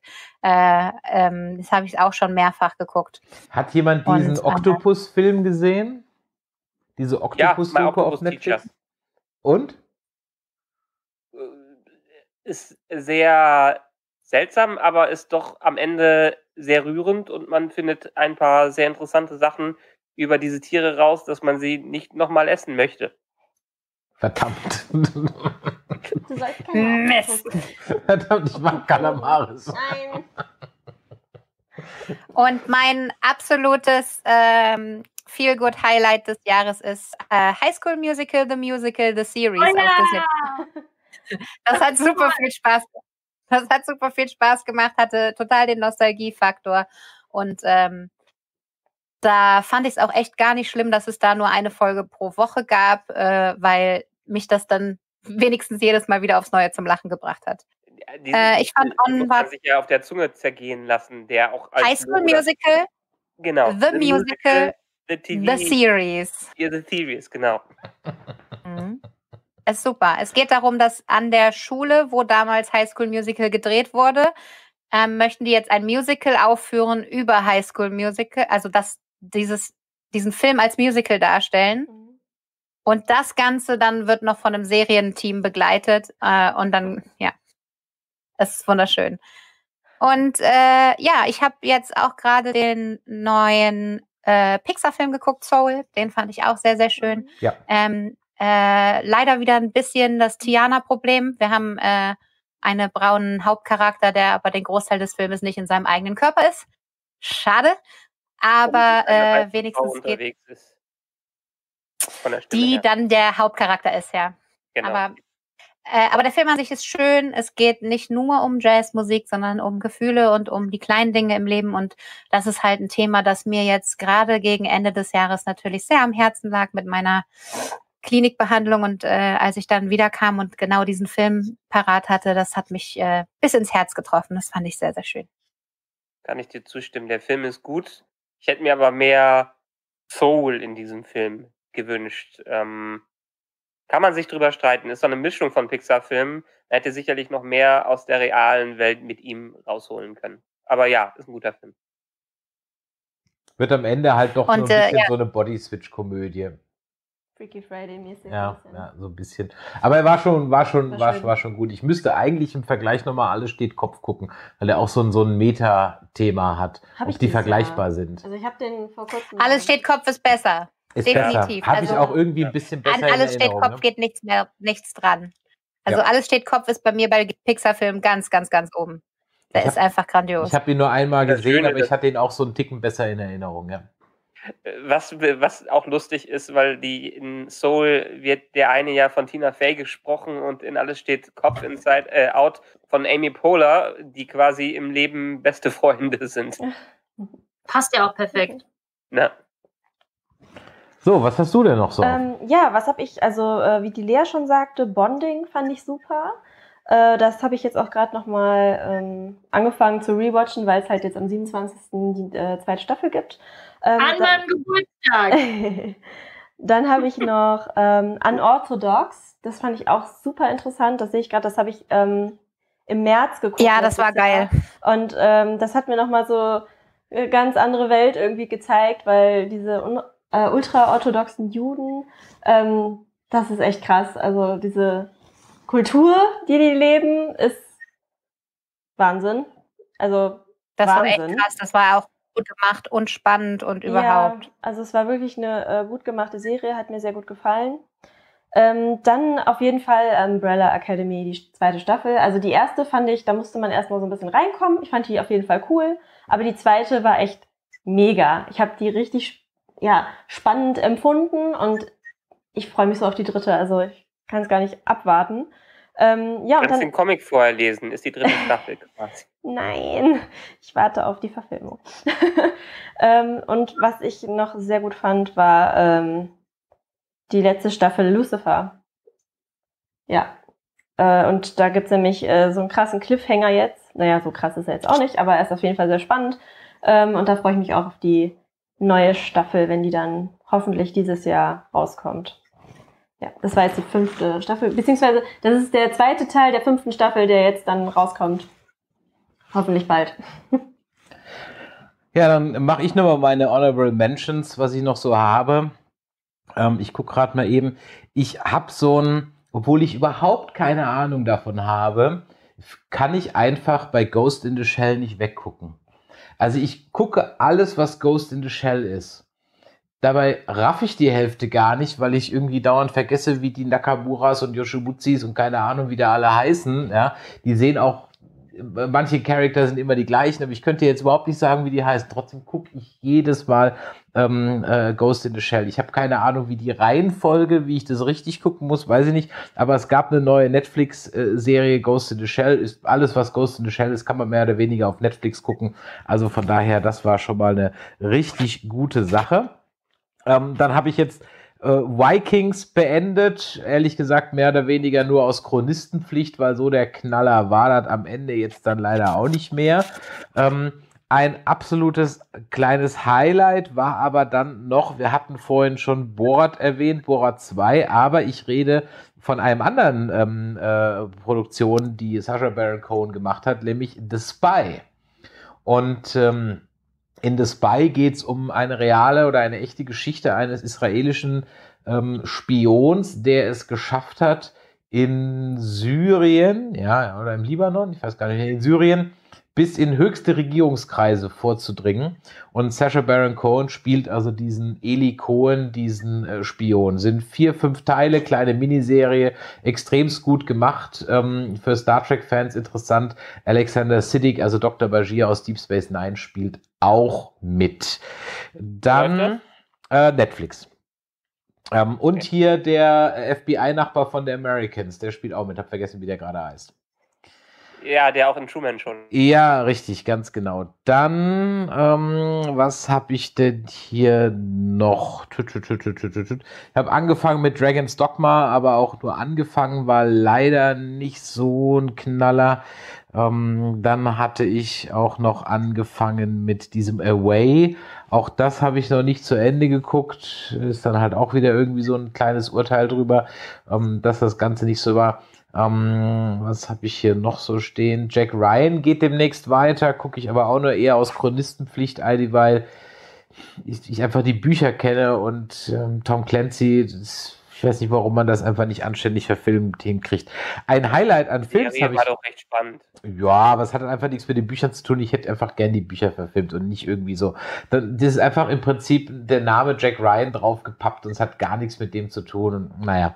Ähm, aber ein Highlight, was ich noch hatte, wo ich einfach gar nicht wusste, was auf mich zukommt, war Enola Holmes. Oh ja. Oh ja, der war schön. Der ja, hat mir auch gefallen. Ja, einfach Einfach weil ich gar nicht wusste, was auf äh, mich zukommt und ich war extremst positiv überrascht, weil es einfach ein richtig schöner, hat mich so erinnert an äh, die Abenteuer des jungen Sherlock Holmes, falls ihr den kennt. Film aus den 80ern kann ich an der Stelle nur empfehlen. Das war sehr frisch mit äh, Millie Bobby Brown. Ich ja. fand die so, ach, dieses junge Talent.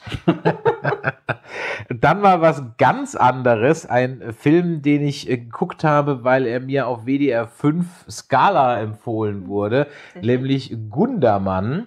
Ähm, geht um einen vor einigen Jahren verstorbenen äh, Filmemacher, äh, Liedermacher aus der ehemaligen DDR. Klingt jetzt total spannend. Ähm, ist es aber in der Tat wirklich, denn der war gleichzeitig ich sag mal, so ein kleiner Wolf Biermann, also Protestliedermacher, aber auch Stasi mit IM. Ja? Und das also gut, gut gemachtes deutsches Kino. Lief so völlig unter ferner Liefen. Gundermann kann man wirklich einfach mal äh, reinschauen, läuft auch auf Netflix. Und als letztes, einfach nur, weil es natürlich immer geht, ich habe einfach eine Schwäche für Grand Tour und alles, was die machen. Das heißt also James May, Our Man in Japan. Stimmt, äh, das war gar nicht schlecht. Sensationell.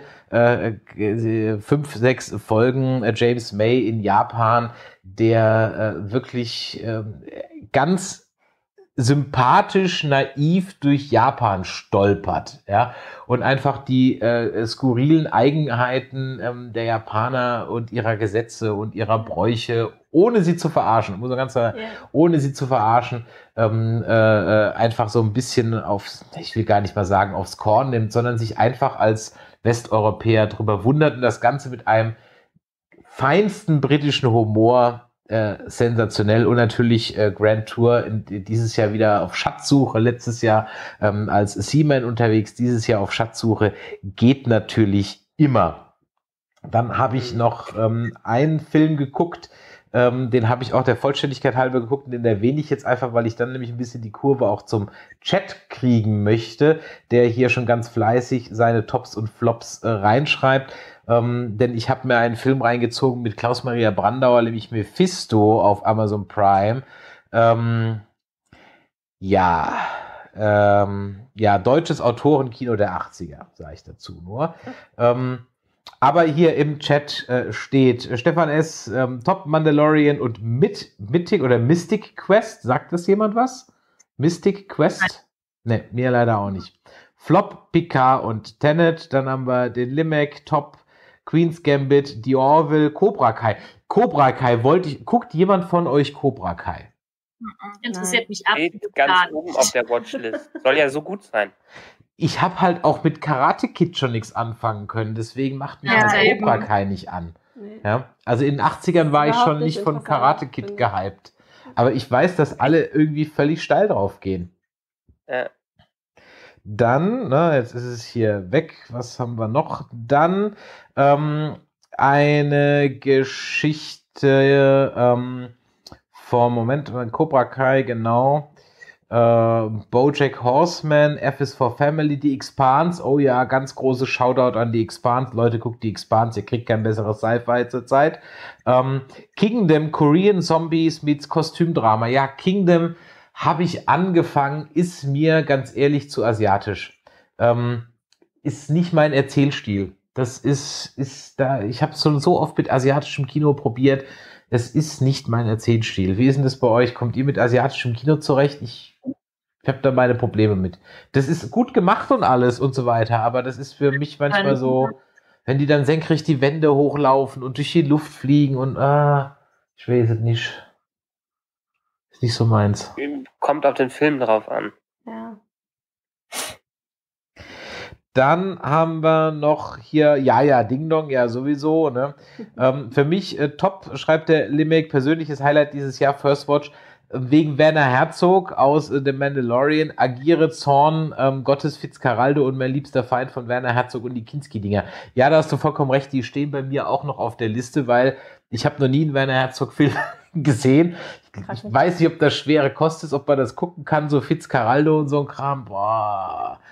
Also ich meine, Kinski ist natürlich eine geile Scheiße, ja, aber ja was du bestimmt schon gesehen hast, weil ich glaube, das hat in, anstatt den Filmen hat jeder sicherlich immer die äh, Doku-Szene über Kinski Eben, bei Acquire ja. gesehen. Ja, ganz genau. Ja, nee, bei Fitzcarraldo war das. Und, äh, Fitzcarraldo war das, äh, nicht Fitz Acquire? Nee, nee, nee, Fitzcarraldo.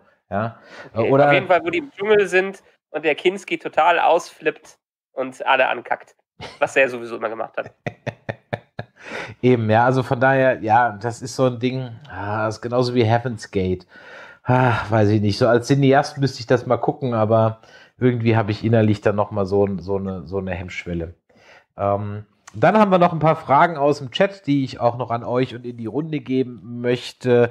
Ähm, A, äh, fragt Tobbe, war Tobbe War, macht ihr was zu Wandervision und Loki? Yes. Ja, definitiv werden wir WandaVision und Loki bekasten. Und jetzt möchte ich euch mal fragen, Michael und ich haben es am Montag eigentlich wieder gelobt. Ab wann möchtet ihr eine Serie wöchentlich und ab wann wollt ihr die auf einen Dump rausgehauen haben?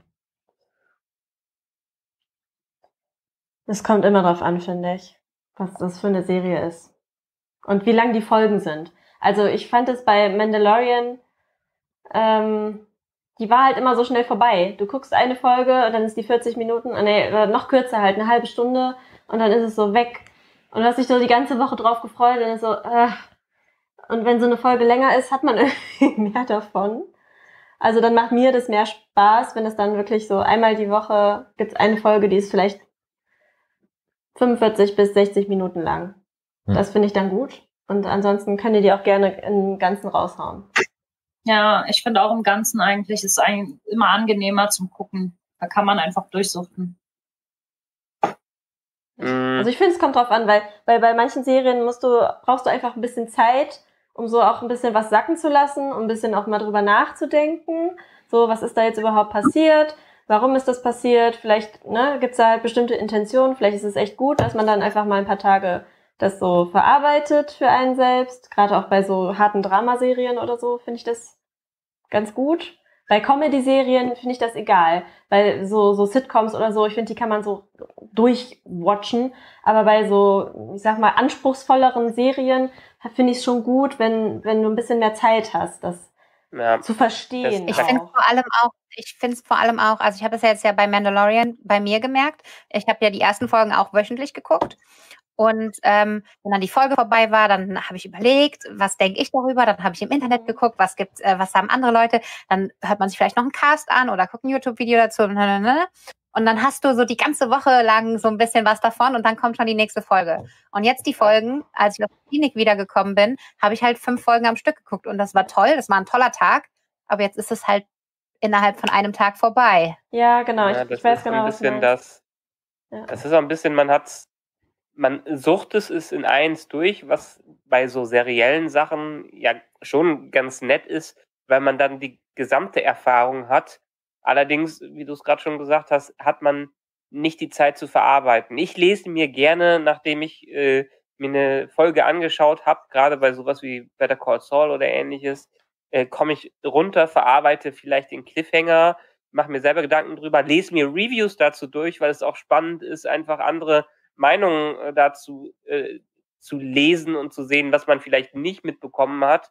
Und dann sprechen wir nochmal drüber. Mhm. Es kommt ganz, es kommt wirklich ganz auf die Serie drauf an. Deshalb finde ich es mittlerweile ganz gut, dass Netflix und vor allem auch Disney dazu übergehen, vielleicht nicht alles immer ganz rauszuhauen, weil ehrlich gesagt, selbst wenn du eine Woche warten musst, wir leben in so einem Content-Überfluss, äh, dass die auch so nicht langweilig wird. Ja, ja, das sowieso. Ja. Ähm, dann äh, äh, schreibt, schreibt Romy ähm, Robili. Mich würde interessieren, welche Filme, Serien ihr 2021 besprechen wollt. Wenn nichts dazwischen kommt, gerne auch älteres Geheimtipps, Klassiker. Ähm, ich äh, habe folgende Neuerscheinung im Kopf. Lower Decks, WandaVision, Loki-Serie haben wir gerade schon besprochen. Wonder Woman machen wir. Bond natürlich, sofern er denn irgendwann nochmal kommt. Ich glaube, den kriege ich wahrscheinlich schneller im Real auch für 5 Euro auf dem Grabbeltisch, bevor ich den im Kino sehe. Ja. Ähm, Dune und Batman und daran angeschlossen fragt Oppi Jade Oppiade, wie auch immer, ähm, was erwartet ihr vom neuen Dune-Film? Haben wir Dune-Lore-Fans hier unter uns? Irgendjemand so richtig von euch im Dune-Universum drin? Nope. Ich nur so halb. Also was heißt so halb? Ich jetzt mal auf Kindle geladen nach dem Trailer. Mhm. Ähm, und es ist ganz gut, dass der Film noch nicht rausgekommen ist, weil so habe ich bis Ende des Jahres mindestens noch Zeit, um mir wenigstens die Vorlage mal durchzulesen. Was ich mir Anfang 2020 schon vorgenommen hatte. also, äh, dann bin ich vielleicht der am meisten Dune-Gebildete hier. Ähm, es gibt drei, ich hoffe, ich sage das jetzt richtig. Also es gibt drei Hauptromane von Frank Herbert, Dune 1 oder Dune, Children of Dune und irgendwie noch so Dune Legacy oder irgendwie so ein Kram. Und natürlich zig Spin-offs, die dann 100.000 Jahre davor und 20.000 Jahre danach und keine Ahnung was äh, spielen. Ähm, es gibt dazu den Film von David Lynch, der dann irgendwann wollte, dass sein Name nicht mehr dabei steht, weil ähnlich wie bei ähm, äh, The Witcher oder auch bei Dark Materials, wenn man keine Ahnung hat, worum es geht, wirst du bei dem Lynch-Film einfach nur da sitzen und denken so, was, was war das?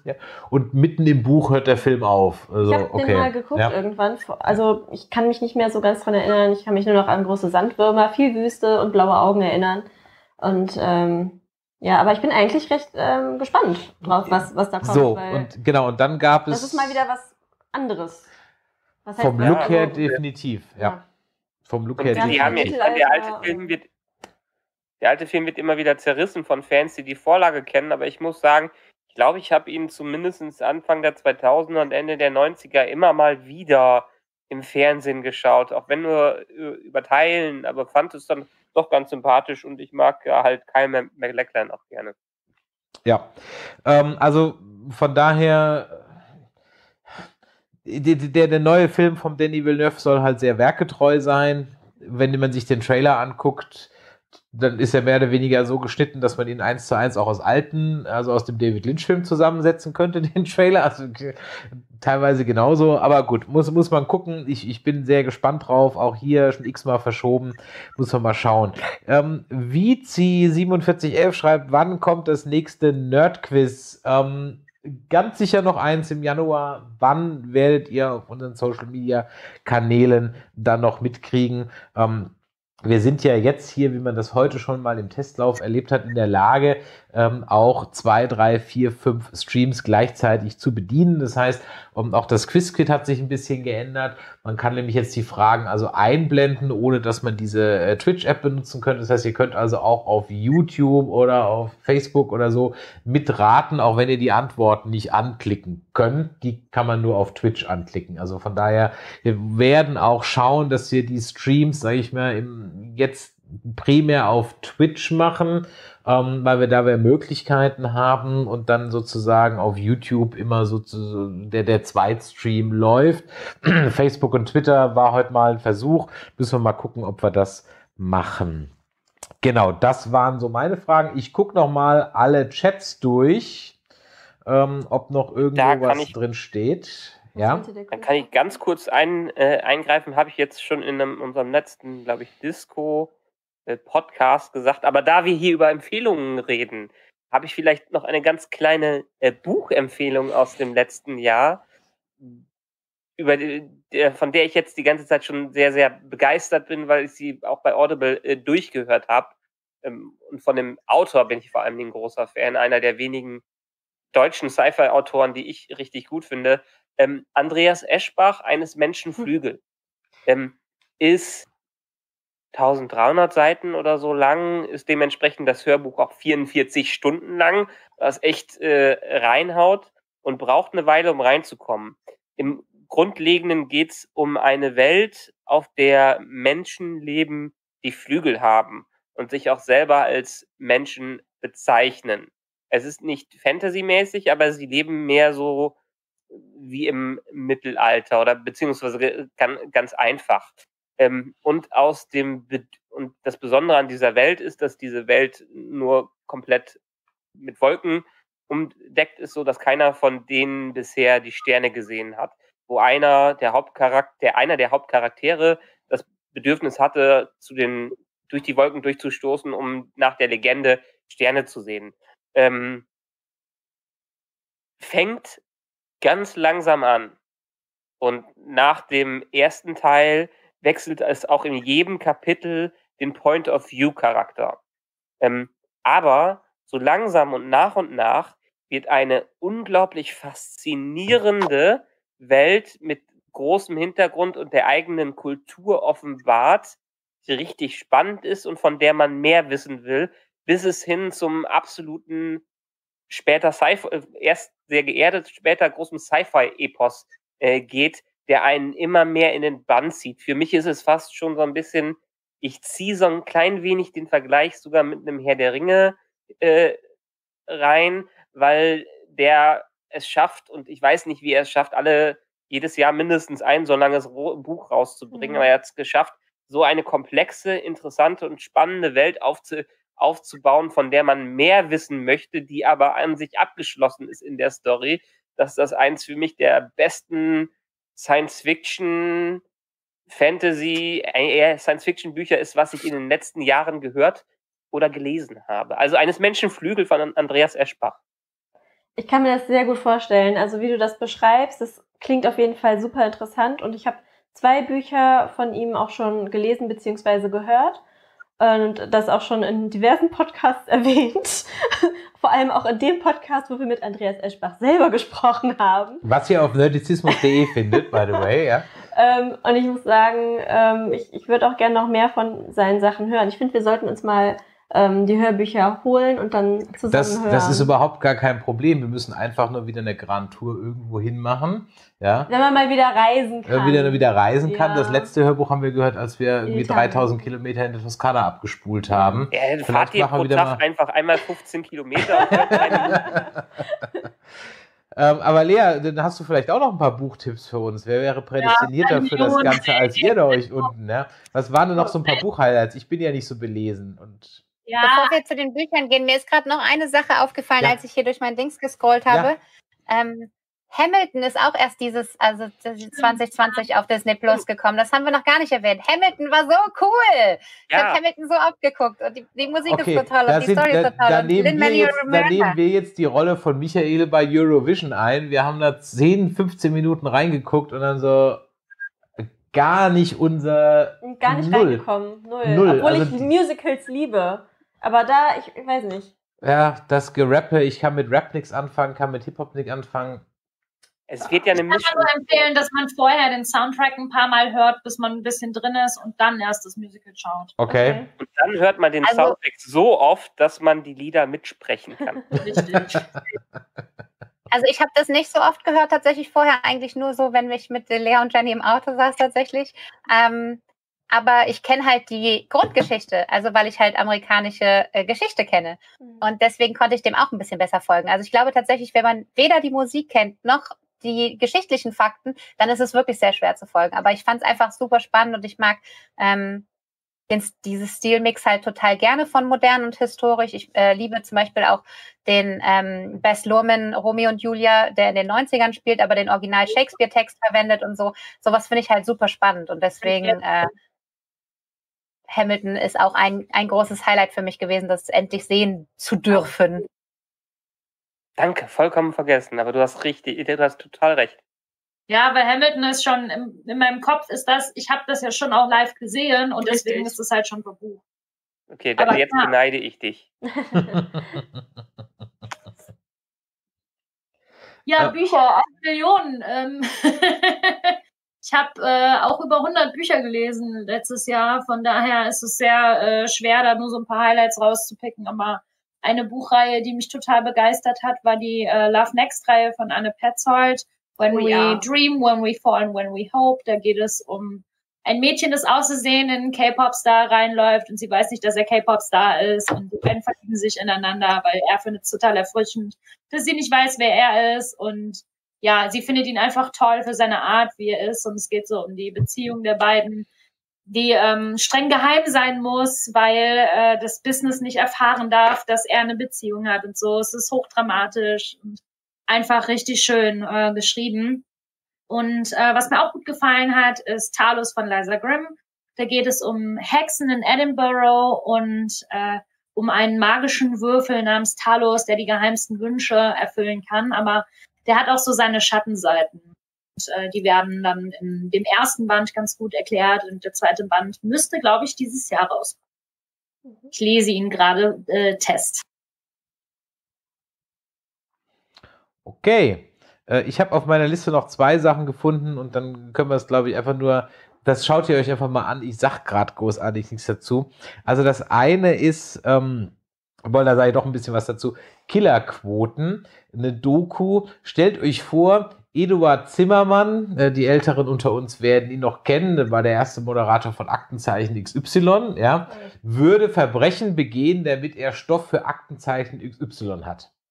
Geil. Das Ganze ist wirklich passiert in Brasilien. Ähm, und die Doku dazu heißt Killerquoten auf Netflix.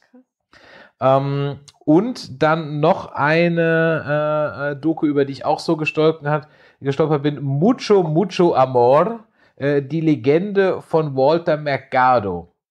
Walter Mercado war ein, keine Ahnung, ein sozusagen der Glöckler der Zauberer.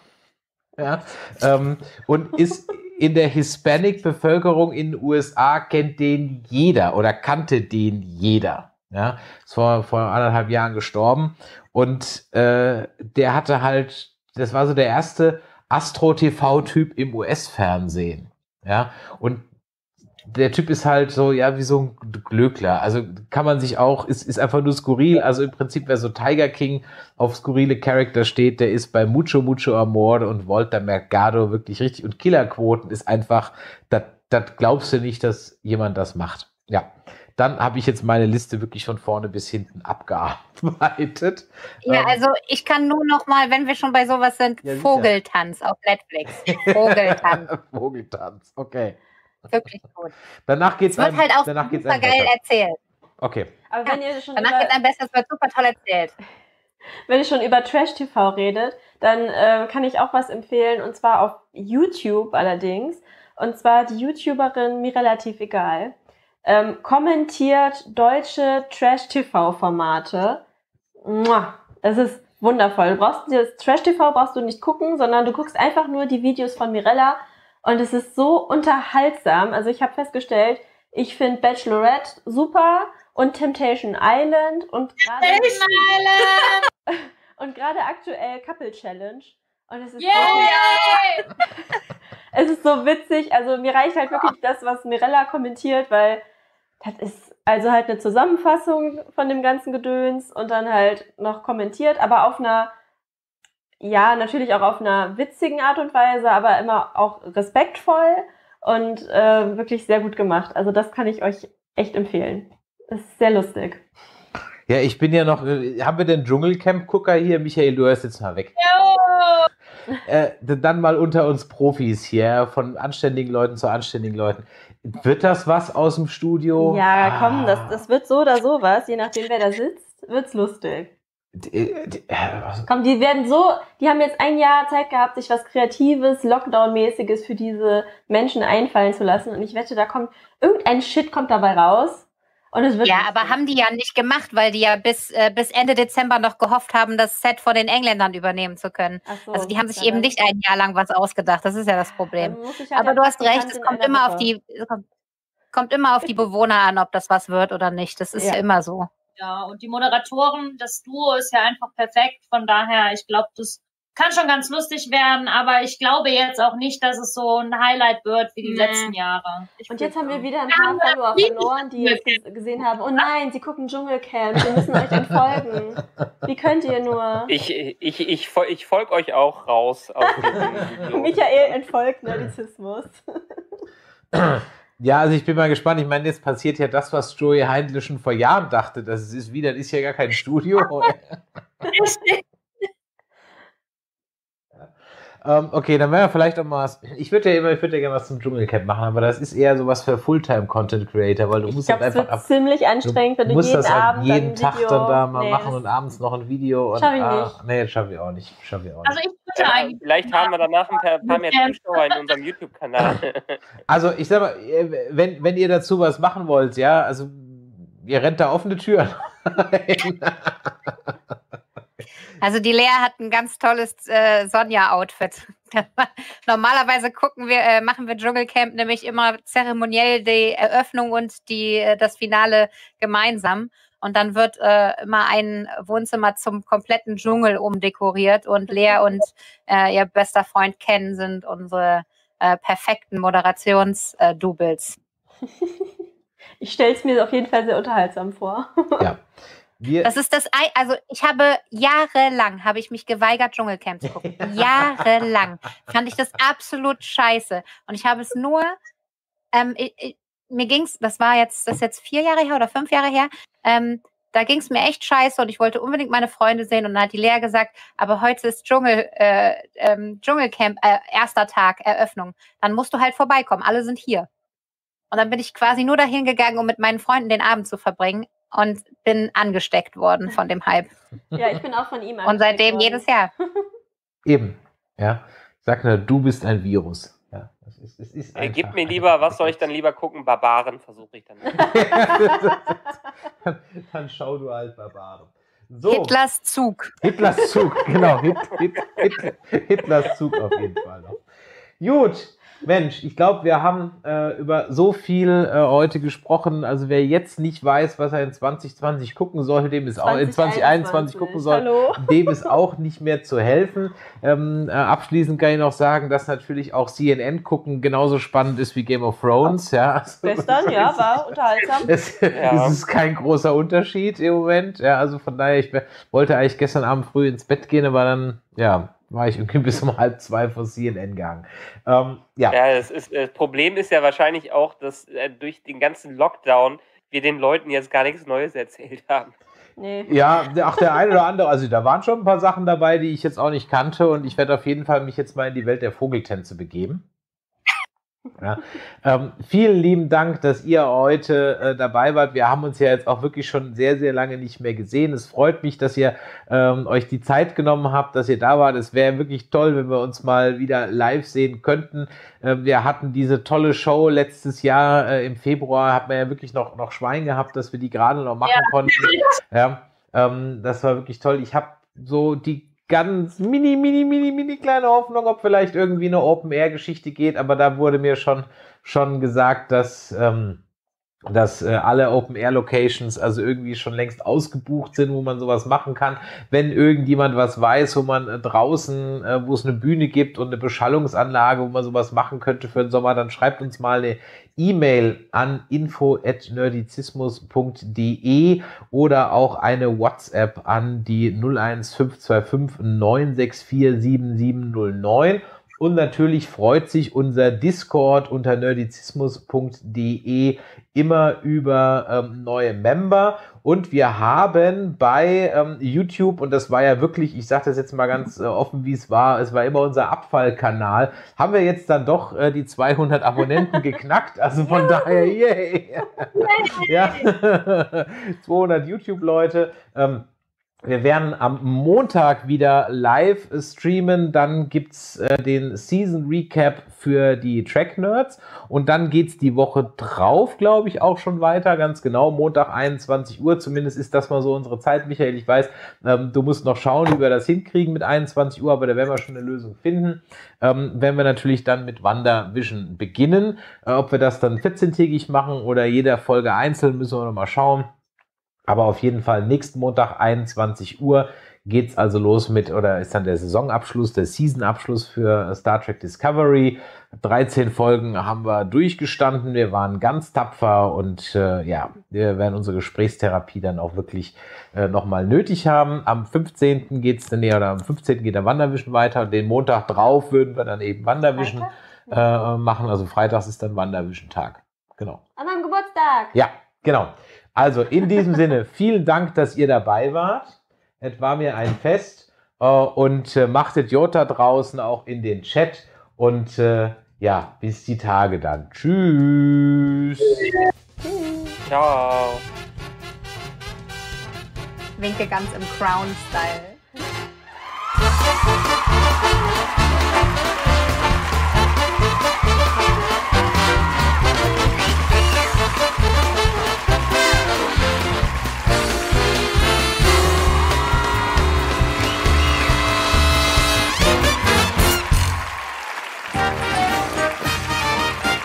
Eine Produktion des Podcast Imperiums.